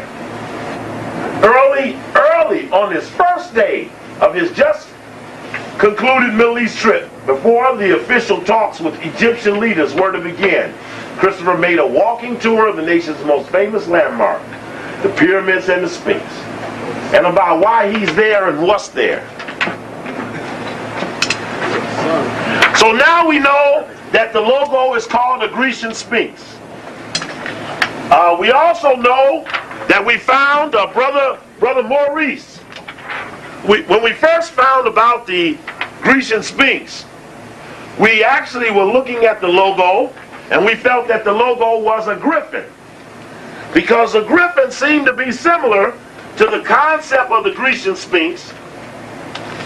And it was, I thought that that was a griffin that was there. And our brother Maurice looked up what the griffin meant in the Webster's Dictionary. And you can see that it says something about the griffin. Right. Not only it talks about the fabulous bird with the wings and four legs and the ears and all of that, but in the second definition of a griffin, origin unknown, it says a white person new to the east. What? Yeah. One recently come from the Occident. White land. That's deep. And then a griffin, griffinage, the state of being a white person recently come from the east. And then it says griffinite, Griffin Park, Los Angeles. Oh. So the griffin stands over you from the highest point, looking over all that you are. They call it Griffin Park, and its conclave is the Greek Theater. Somewhere up there, there's some shit we gotta go find. Somewhere up there is an unlocking of the mystery that keeps this the city of the Los Angeles. This is where the angels lost. Hollywood. They didn't win here, yeah. Hollywood. I thought that was deep. That was deep. Here is, uh, that's that's a small picture of the Grecian Sphinx. We'll look at some more later. That's from the cover of the bylaws and constitution. And you can see that under the slab, there's some writing here in between there. We've got to talk about that and find out some about that. In the book called the Dictionary of the Dictionary of Symbols, I found they had a listing for a Grecian Sphinx. And, and what you know about Greece is it has to have breasts like a woman, face up. It said we serve one maiden only. We serve one maiden only. All of them? And that's another picture of a Grecian Sphinx in a book on the Dictionary of Symbols. Now, and this uh, is important. I was looking up, I have a definition here that if I can find, I want to show you uh, that has uh, some significance. I'm going to ask uh, if he would uh, to have uh, Brother Ashwa Kwesi come up and join me, if he, if I could be so honored.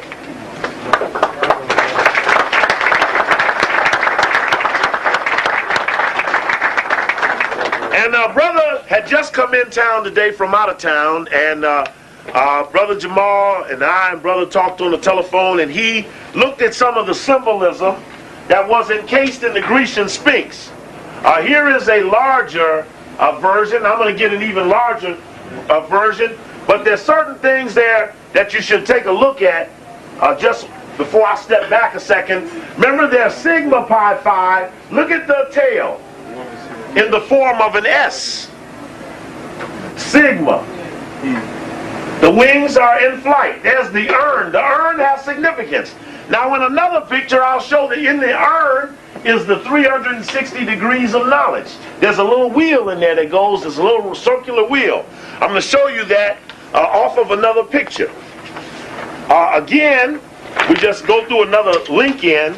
There's that concept of that round table again.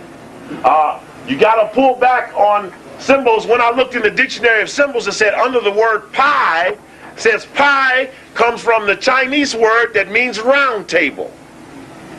Sigma pi phi. Anyway, that's that's a whole nother discussion. Uh, brother, I've asked, I've asked brother to share with you. Let me find the best picture of it. See, I said it here. Uh, asked that he could share with you. And I'm gonna ask if he would do this one again just before we do that. If he would. Uh, okay, you hold that one. I have this one here. I'll show it. I'll put it up while you do it. I can put it up. Okay, uh, if he could explain again, just so we can get it on the camera, about what that what that means, which is put in there for just not arbitrary. When you're dealing in Masonic symbolism or secret society symbolism, you're not arbitrarily picking things and putting them there. And I just want him to say again what that might mean, uh, just for the record. First of all, I want to say hotel. Hotel. And uh, giving thanks to Brother Cokely for uh, exposing the house Negroes. uh, keep in mind when you go back as far as you can, all this, first of all, came up out of Africa. Only the symbols have been distorted, manipulated, to the point where we don't know what it means today. Now, when we go back to Prometheus, now it talks about Prometheus, where did he have to go? When the Greeks say they had to cross the burning sands, you don't go north of Greece to cross the burning sands. There's no desert in Europe. He had to cross across the Mediterranean, and there's some burning sands there. What desert is that called? Sahara. Sahara. That's where the knowledge was. He had to go to Mount Olympus. What was Mount Olympus? That was the land of Ethiopia. This is where the light of knowledge was. So in terms of passing the torch, this was symbolic of passing the light. So when the French, by the way, when they had the French Revolution there, uh, Thomas Jefferson was also involved with that. Okay, the overthrow of the French government during that time. So when America set up here, what statue they give to America? The Statue of Liberty. What symbol do you see the Statue of Liberty holding? The torch. The torch of what? The light of what our ancestors called Haru. The light of knowledge. All coming from African people.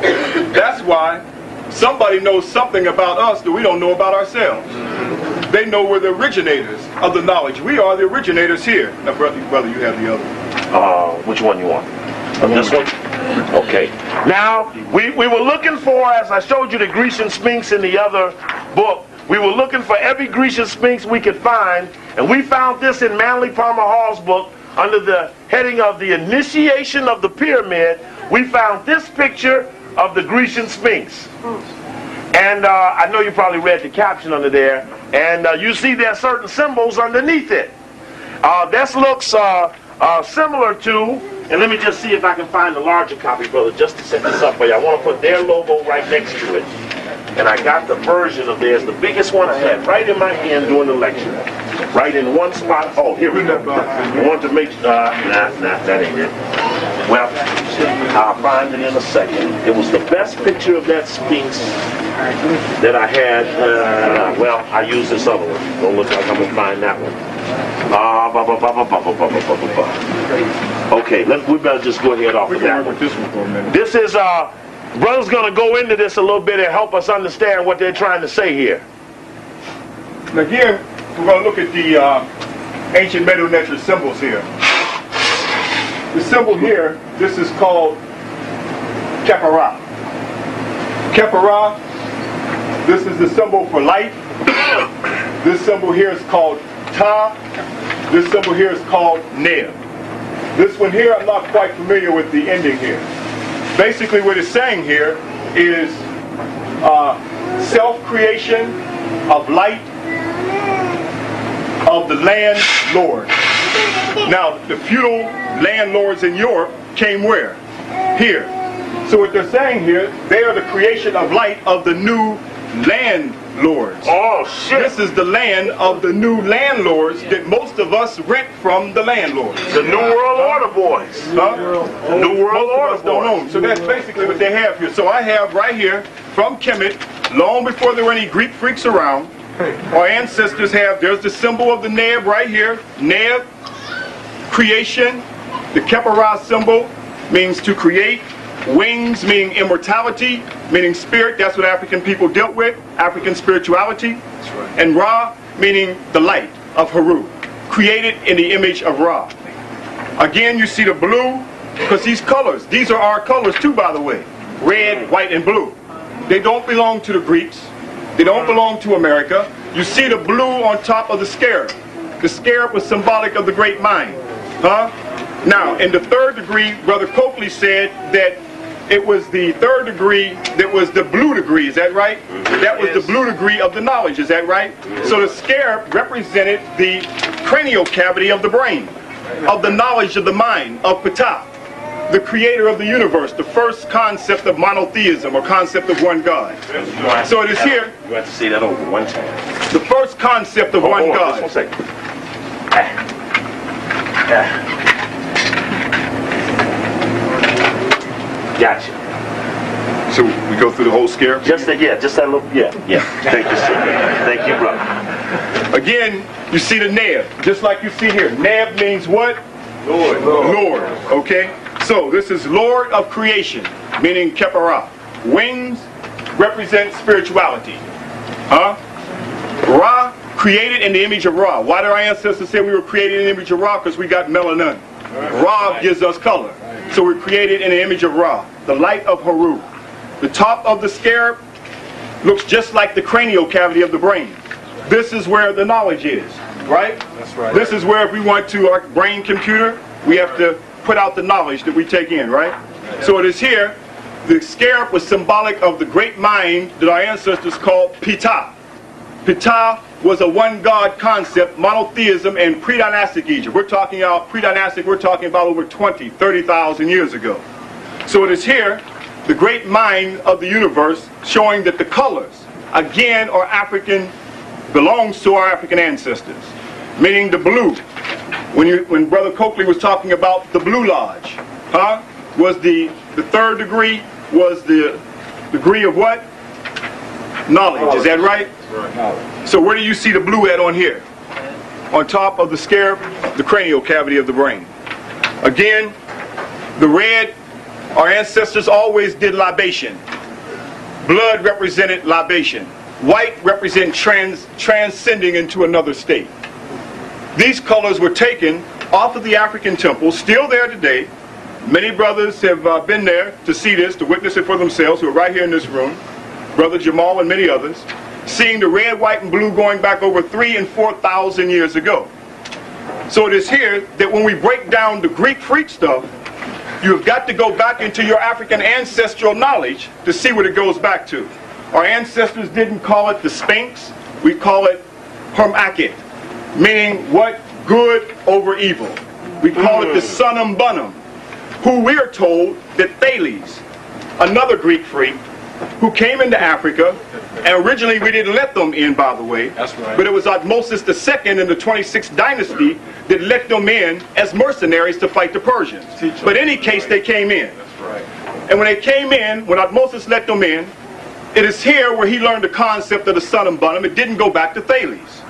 And the sun and Bunum was the supreme good. Now, we also had our secret lodges.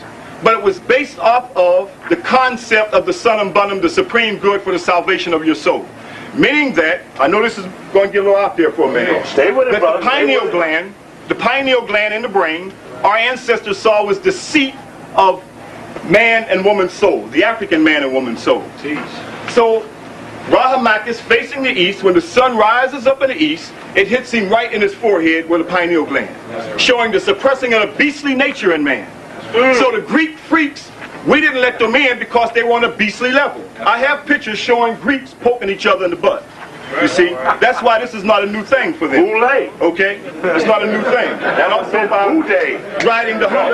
Riding the hump. Riding the hump. Right. You can go get the uh, demonology of the Bible, written in nine, uh, excuse me in uh, 1657. Huh? Before the King James version of the Bible, they had demonology of the Bible, and they had this goat, That's right. and they rode this goat. And this was the the uh, Satan worship or bestiality that they were in. Huh? So when the Masons said that they ride in the hump, this is the initiation for the beast. The beast that they're coming out of. Huh? This is all there. It's all there.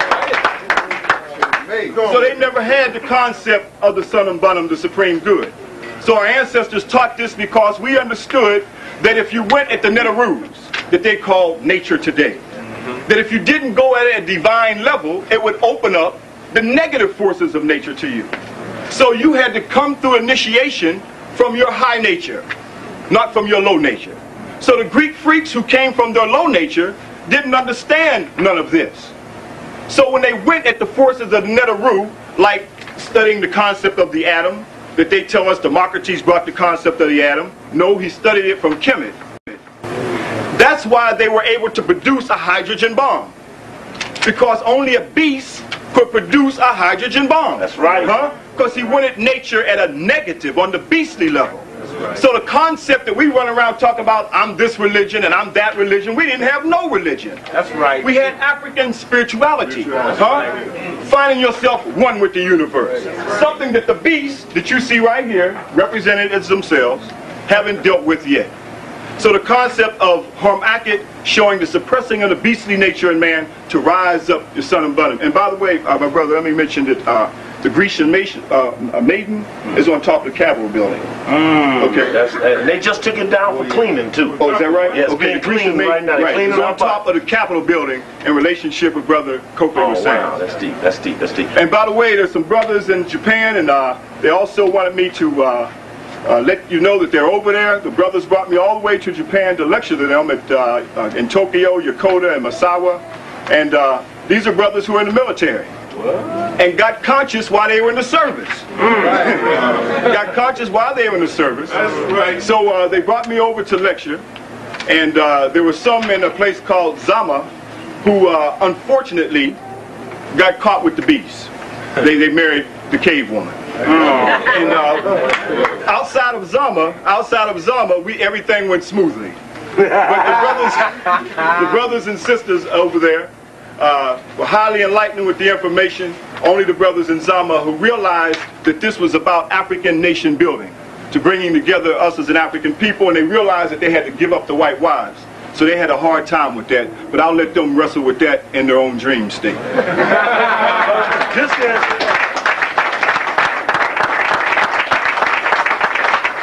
This is here. This is actually, uh, brother Aswad, the larger size version of the Boule's logo itself. This is off their uh, uh, rostrum. Uh, and as you can see, there's the urn, and there's something in the urn. Now, we've always talked about the circle within the circle as being part of that pursuit. Someone else looks at this, that's the 360 degrees of knowledge inside the urn. Is there any significance to that urn and that right paw being up? I know that uh, the symbol here, You can use this. uh, right off the top of my mind, I'm saying right off the top And I don't mean to put you on the spot either, No, no problem, brother. I would say that this symbol represents the sun. That's how we represent the sun. It was a circle with a dot in the middle. Okay? That's how we represented the sun. The dot may have been the pineal gland. Also, go and look in the encyclopedia under the pineal gland, and it talks about the pineal gland. It develops your sexual behavior. Excretes the melanin excretes from your pineal gland for your development of your sexual behavior. So if the pineal gland is activated by the sun, that our ancestors have Ra Hamakis, or Hamakit, that the Greeks call a sphinx facing the east, if these folks did not live in the sun belt, that means they have an underdevelopment of the pineal gland. That's right. So this explains the beastly nature that you see out here today with all these freaks running around. That's right. Huh? With an underdevelopment of the pineal gland. Now, right off the top of my mind, I would say that represents the sun. And the sun is definitely bringing 360 degrees of life on this planet. Yeah. Thank you, brother.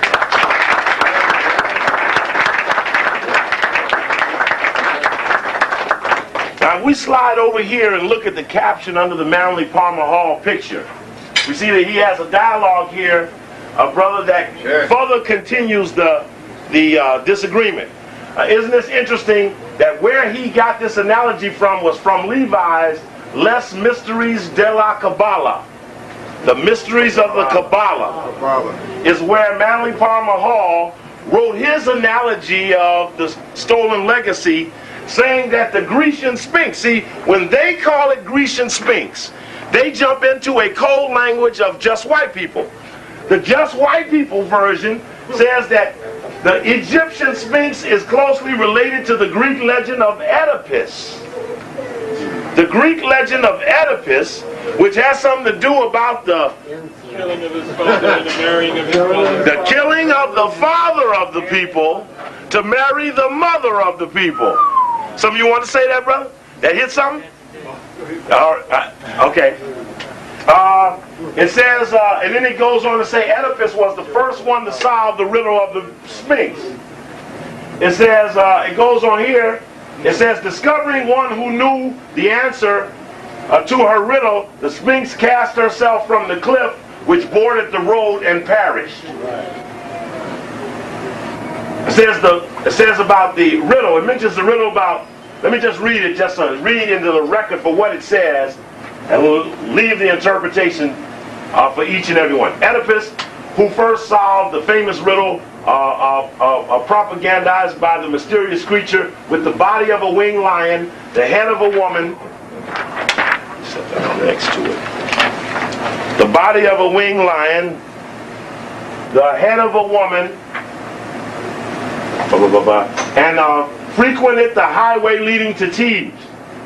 To each who passed her lyre, the Sphinx addressed the question What animal is it that in the morning goes on four feet, at noon on two feet, and in the evening on three feet? Those who failed to answer her riddle, she destroyed. Those who failed to answer her riddle, she destroyed.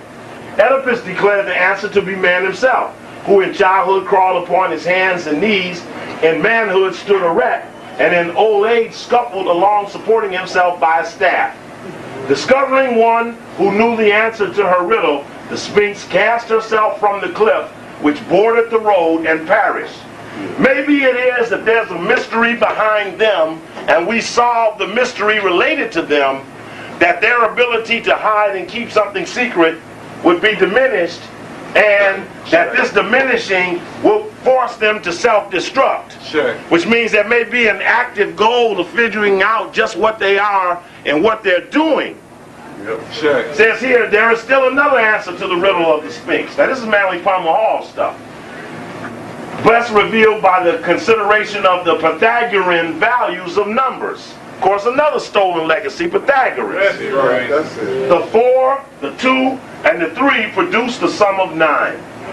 Remember those four plus four and one? Right. Four Greek female, four Greek male, one.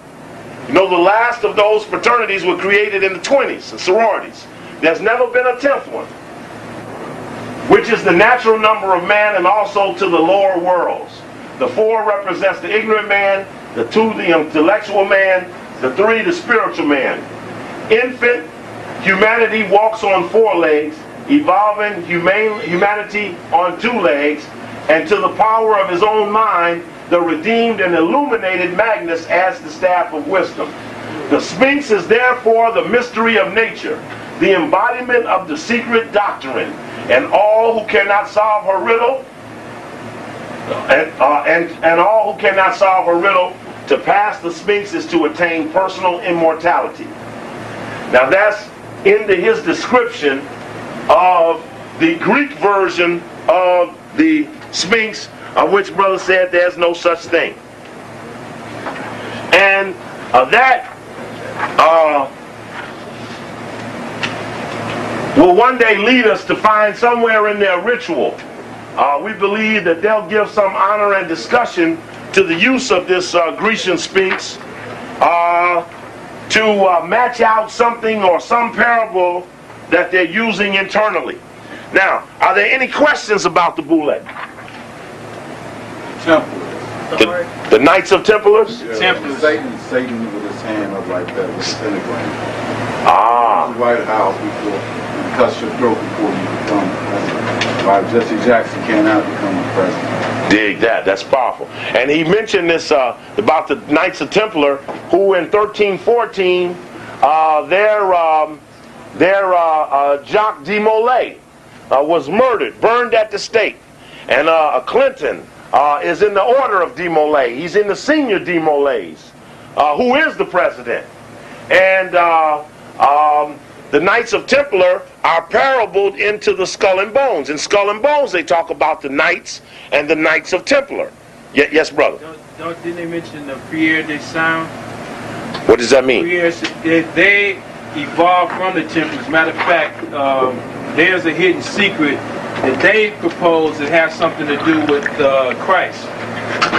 which they hold over the head of the Vatican. They control the Vatican. Who controls the Vatican? Priere de Sion does. Mm. That's an organization that came out of the Templars.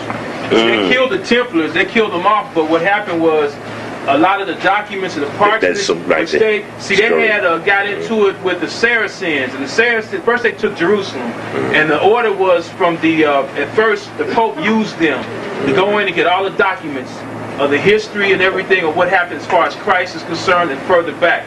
They brought all those documents back. When their usefulness was finished, that's when the Pope turned on them. But but there's a, Mer- the kings of I can't think of this name right now. It's Merovonigan or something like that. The kings of them, which is a dynasty, that out of them came the Priere de Sion, and they kept they keep having it. Each so many years they have a grand master, Mm. which the Masons sprung out from there. We Okay. had the Masons like over here and there, and then the Priere de Sion still originated. It's based in France. And you know, back into that Skull and Bones thing, this was an article that appeared in the New York Times on Skull and Bones. Mm. Look at what the heading says. The tomb George Bush came from. The tomb George Bush came from. In a Sylvan pocket tucked off High Street, masked by a blank slits in an ancient stone building called the Tomb, barred from the world by a padlock from uh, on door, Skull and Bones keeps his secrets close, closely, but it casts a shadow across the country.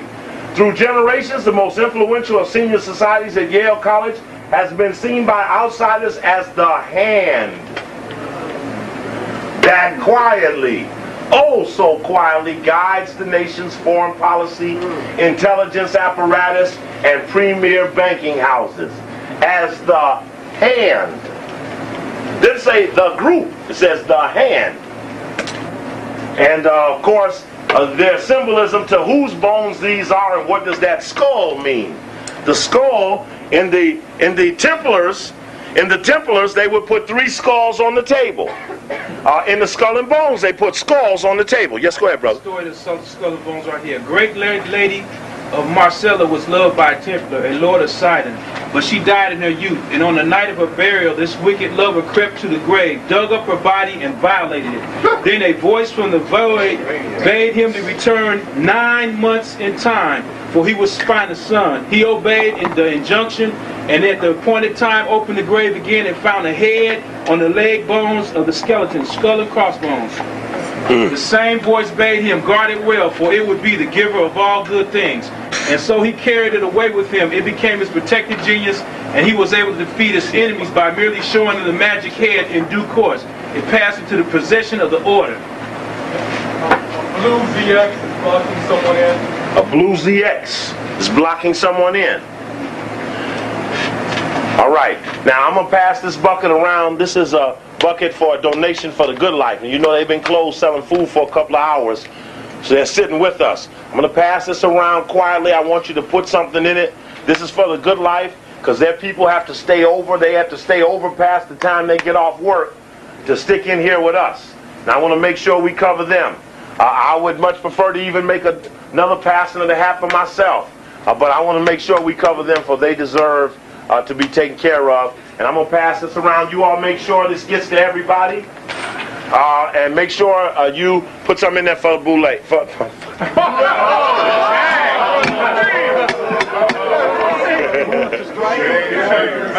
But I want to tell you a story, though. I'm going to tell you a story, though. I was here talking about the Boule one night, and there was a guy in the audience from one of the fraternities. And the guy says, You know, in our history book, the Boule is mentioned on a certain page. So at the end of the night, everybody's gone. There's three, four of us in here. Someone's mopping the floor, and I'm on the stage bending down, putting my stuff in a neat little pile. And someone, while that mop is flinging, says, You know, that guy was right. That sure is on that one page in our book. All right. So make sure we cover the good life there. And isn't it nice to be in the good life? This is good life. But one thing I want to tell you, I, I'll get to you. One thing I want to tell you is that their use of analogies is not about good. This is about the evil prostitution. We're talking about the evil of evils. We ought to be, as a goal, as a group, trying to penetrate or find the chief of evil. That's right. And this chief of evil will control or have dabs on many other people who are so evil. Some who won't understand evil but do evil in support of evil things. And so we keep up the fact that they took the good things and made a bad thing with it.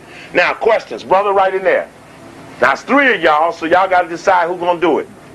The elder first. Okay, uh, I was just wondering about the um, Hoover's, uh, the, the, the uh, blacks around Hoover, like Noisette and the guy had to find on Marcus Garvey.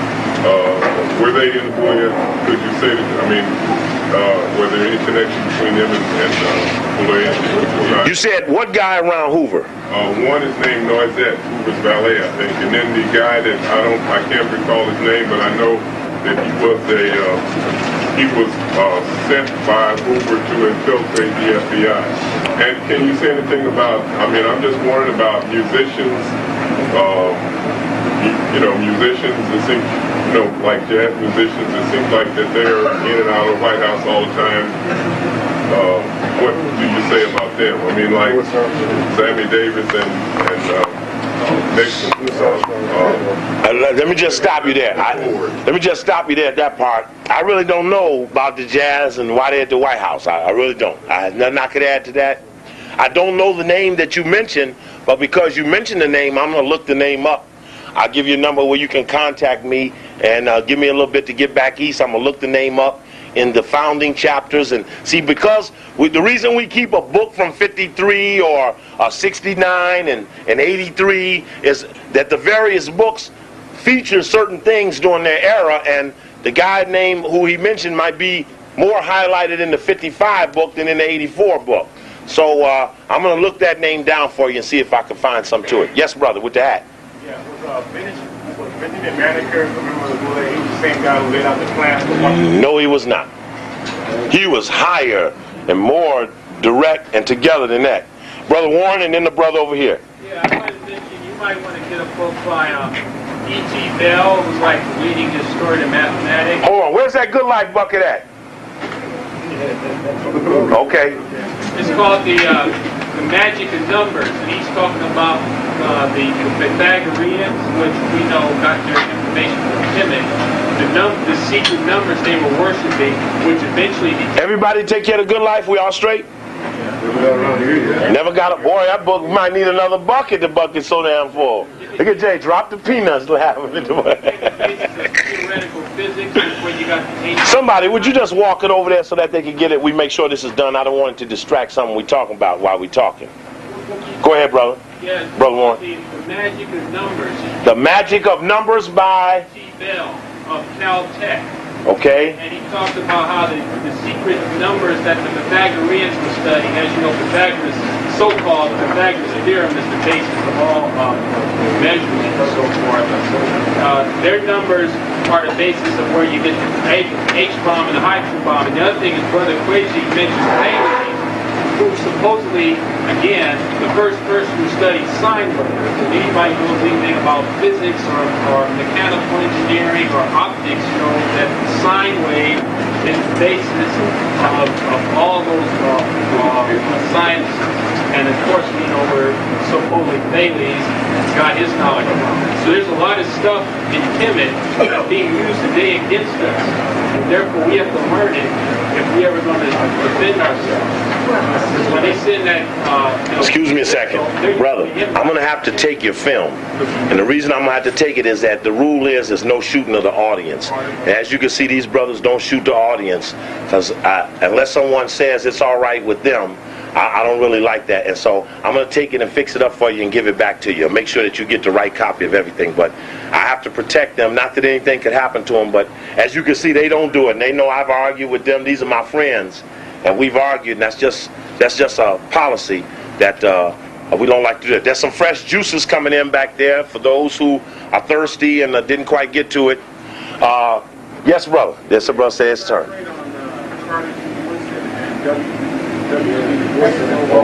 Okay. Uh, let me pa- let me pass this across. Damn, this thing is heavy. Shit. Woo! We went this way. Okay, pass it back up in there. I don't think it made it back there, and then it did. Yeah, it's been around. Okay, uh, then let's uh, somebody from the from the Good Life come and pick the bucket up. A brother asked about Carter G. Woodson and W.B. Du Bois. W.B. Du Bois was the founding member of the New York chapter in 1911. The concept of the talented tenth developed at a speech that he gave on behalf of the Boule, which was that the Boule represented the elite of the black elite, the college-trained man. There was no other black man of influence than this emerging college-educated black man. And so this college-educated black man uh, was uh, was uh, put in or used by uh, a lot of other people. Uh, W.B. Du Bois uh, took it upon himself, and in a lecture on Black Jewish relations, Africa '93, we talked about W.B. Du Bois' role in attacking Marcus Garvey. Well, it was deeper than we ever thought.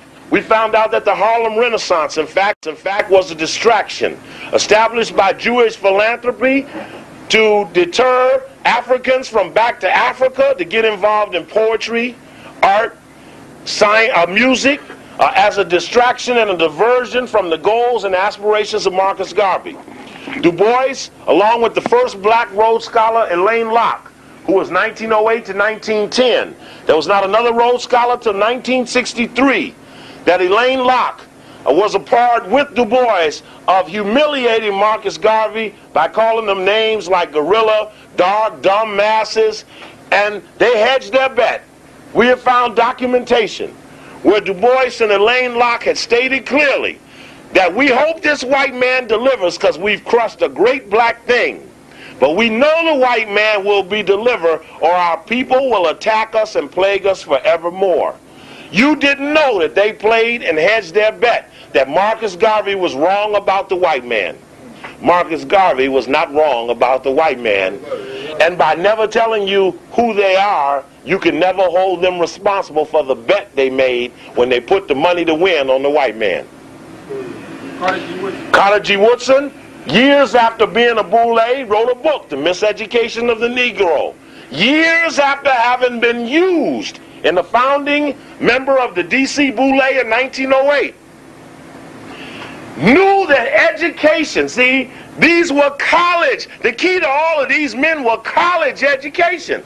So when he saw it and saw what had happened to him, he said we were miseducated by the damn thing. It was a it was a fix.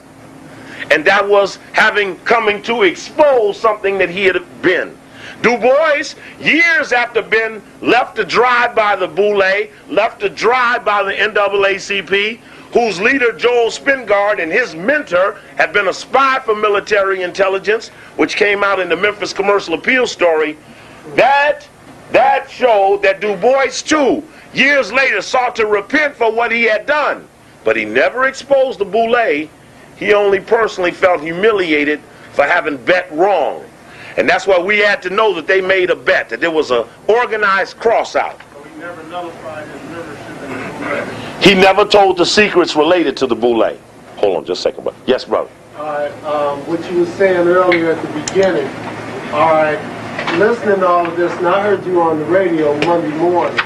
All right, now, this is going to be out of all of us, or, or even if we compare it to the mass populace, there's going to be 80% of us that if you show them the truth and put it right in front of their face, they still are going to deny it. They ain't going to want to admit up to it. They don't give a shit about it, pardon me, ladies. They don't give a damn about none of this black stuff. I saw that looking at um, Minister Society. You talk black to these young kids now, and I'm 40 years old. I grew up in the in the black movement where it was something to be proud of. How do we go about explaining this to these young gangbangers who are future warriors? Since they don't give a damn about nothing, why not channel their energy, like Farrakhan used to say, into for our liberation? If you don't give a damn about dying, you make the best soldier.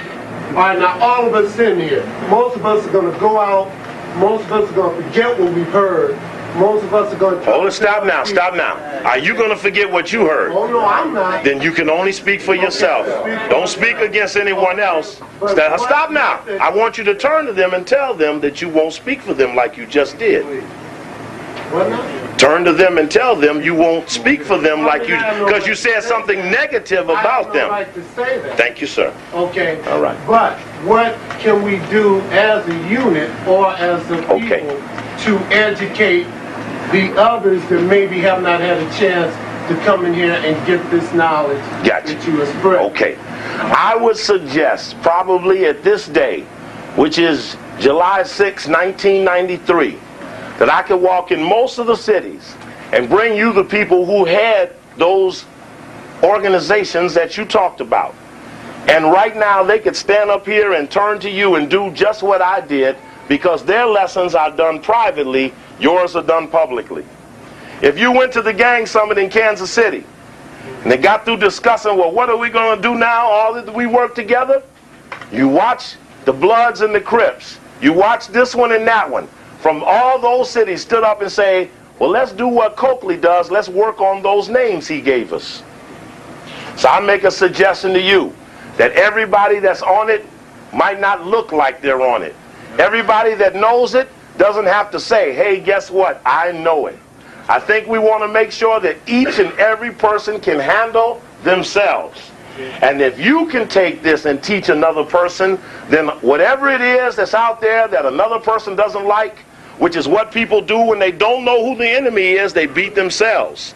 Part of what we do by exposing who the enemy is, is we stop misplaced aggression. So we can look at the numbers and see that the crowds are increasing and more people know than they ever knew. And I think those youngsters might know more than the adults. And to tell you honestly, I place my bet on them. That's right. That's right. I place my bet on the little ones who don't have jobs, who didn't go to school, who don't have the cars nor the houses, because they're the ones that are going to fight. They just need to know who to fight and how to fight effectively. There were not college educated Vietnamese who dug deep holes in the grounds and lived with rats, dogs, and cats, and worms and other things that scare Americans. I suggest to you that there are elements who are ready while we work with the masses to have them understand what they'll come to witness. You see, if you don't get this lesson to see what's going on, when it happens, you get confused and think something went wrong. That's right. And again, remember this. We're the horse that lays on the rail. We're not breaking ass till it says spinning out of the turn. Here's the track. We started here. Somebody say, hey, that's Billy. He's way out in front. Well, we're going to get no points for leading. But as we make it around that track, we might be laying at the road. Here comes the Boule. Here comes the Rhodes Rothschild. Here comes Skull and Bones. They're way out in front. But when that man say, here they come spinning out of the turn, then somewhere that black liberation horse going to kick ass, and from here to there, we're going to finish right. The goal is to finish first. So somewhere down the line, we're not going to look good. Because looking good is not necessarily the single signal you want to send before you strike. So you might, I tell people, you better be able to run out of your house in any of four directions and have someplace buried straight edges, clothes, uh, flashlights, and other things, food that you may need. And you won't know how many people have prepared for this until you go out and dig your hole because you might look up and not find room for your stuff. All right. Who else? Yes, brother.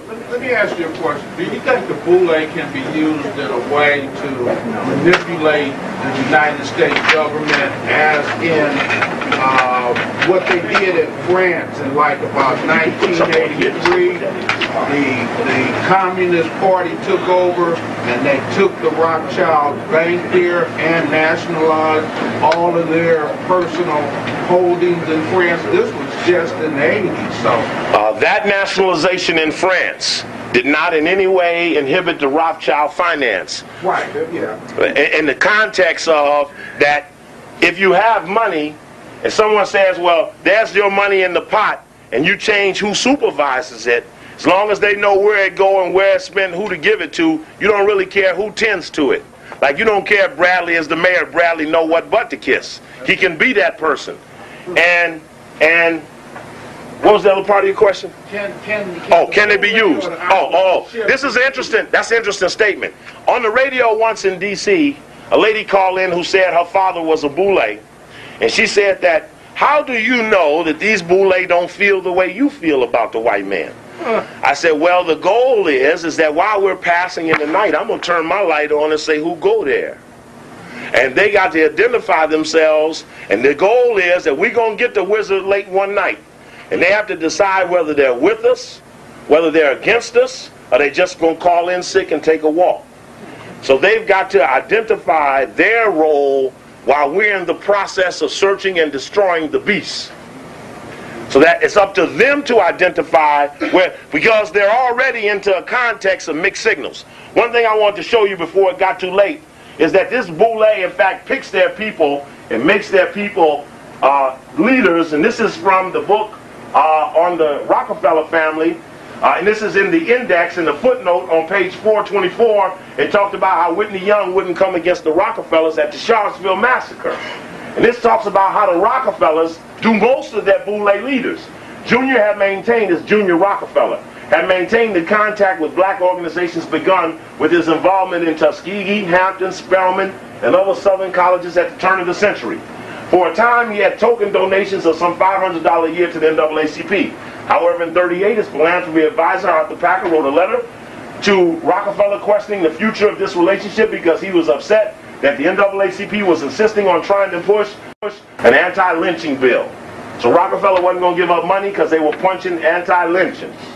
Packer regarded this as radical, act too radical for the Rockefellers to be involved in, but recommended a continuation of the annual donation nevertheless.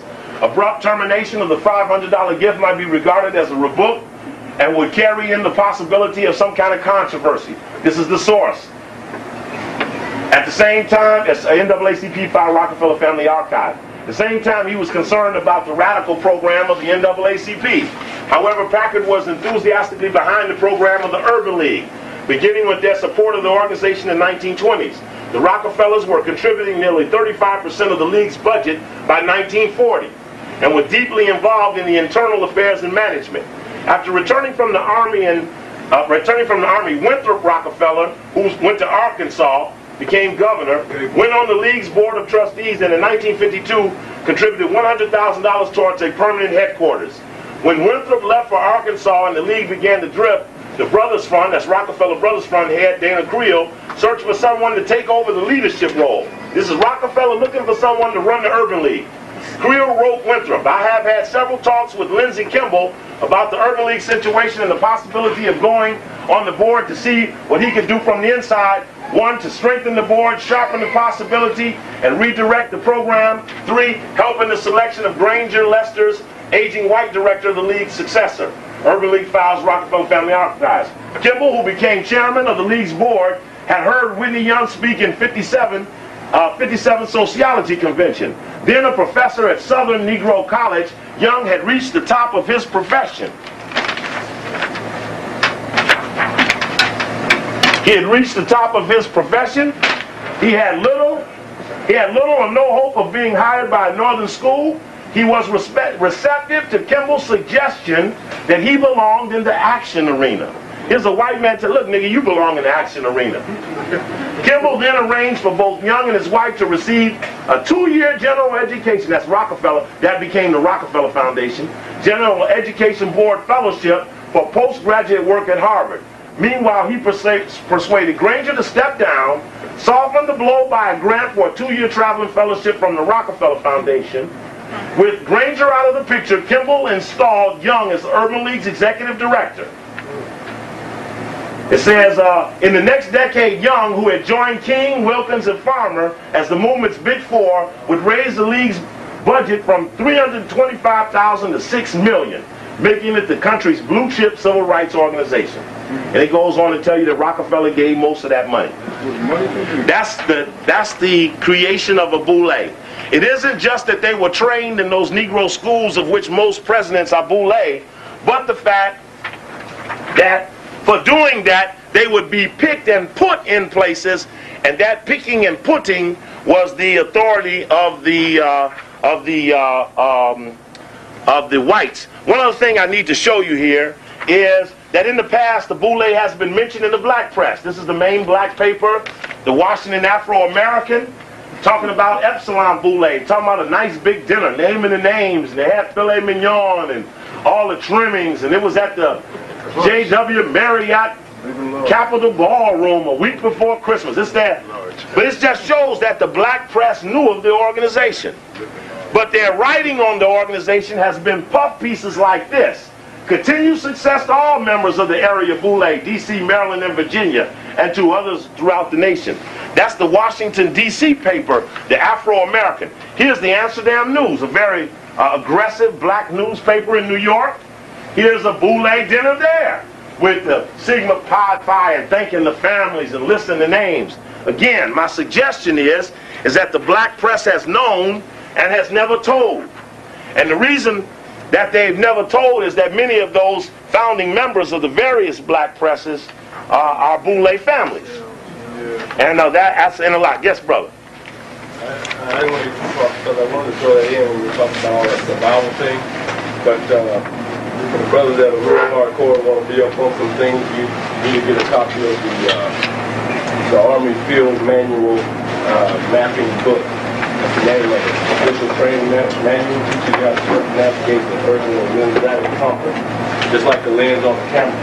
Lensatic compass. One good book you'll need, another good book you'll need is the uh, Anarchist Cookbook. You can get these at survival stores.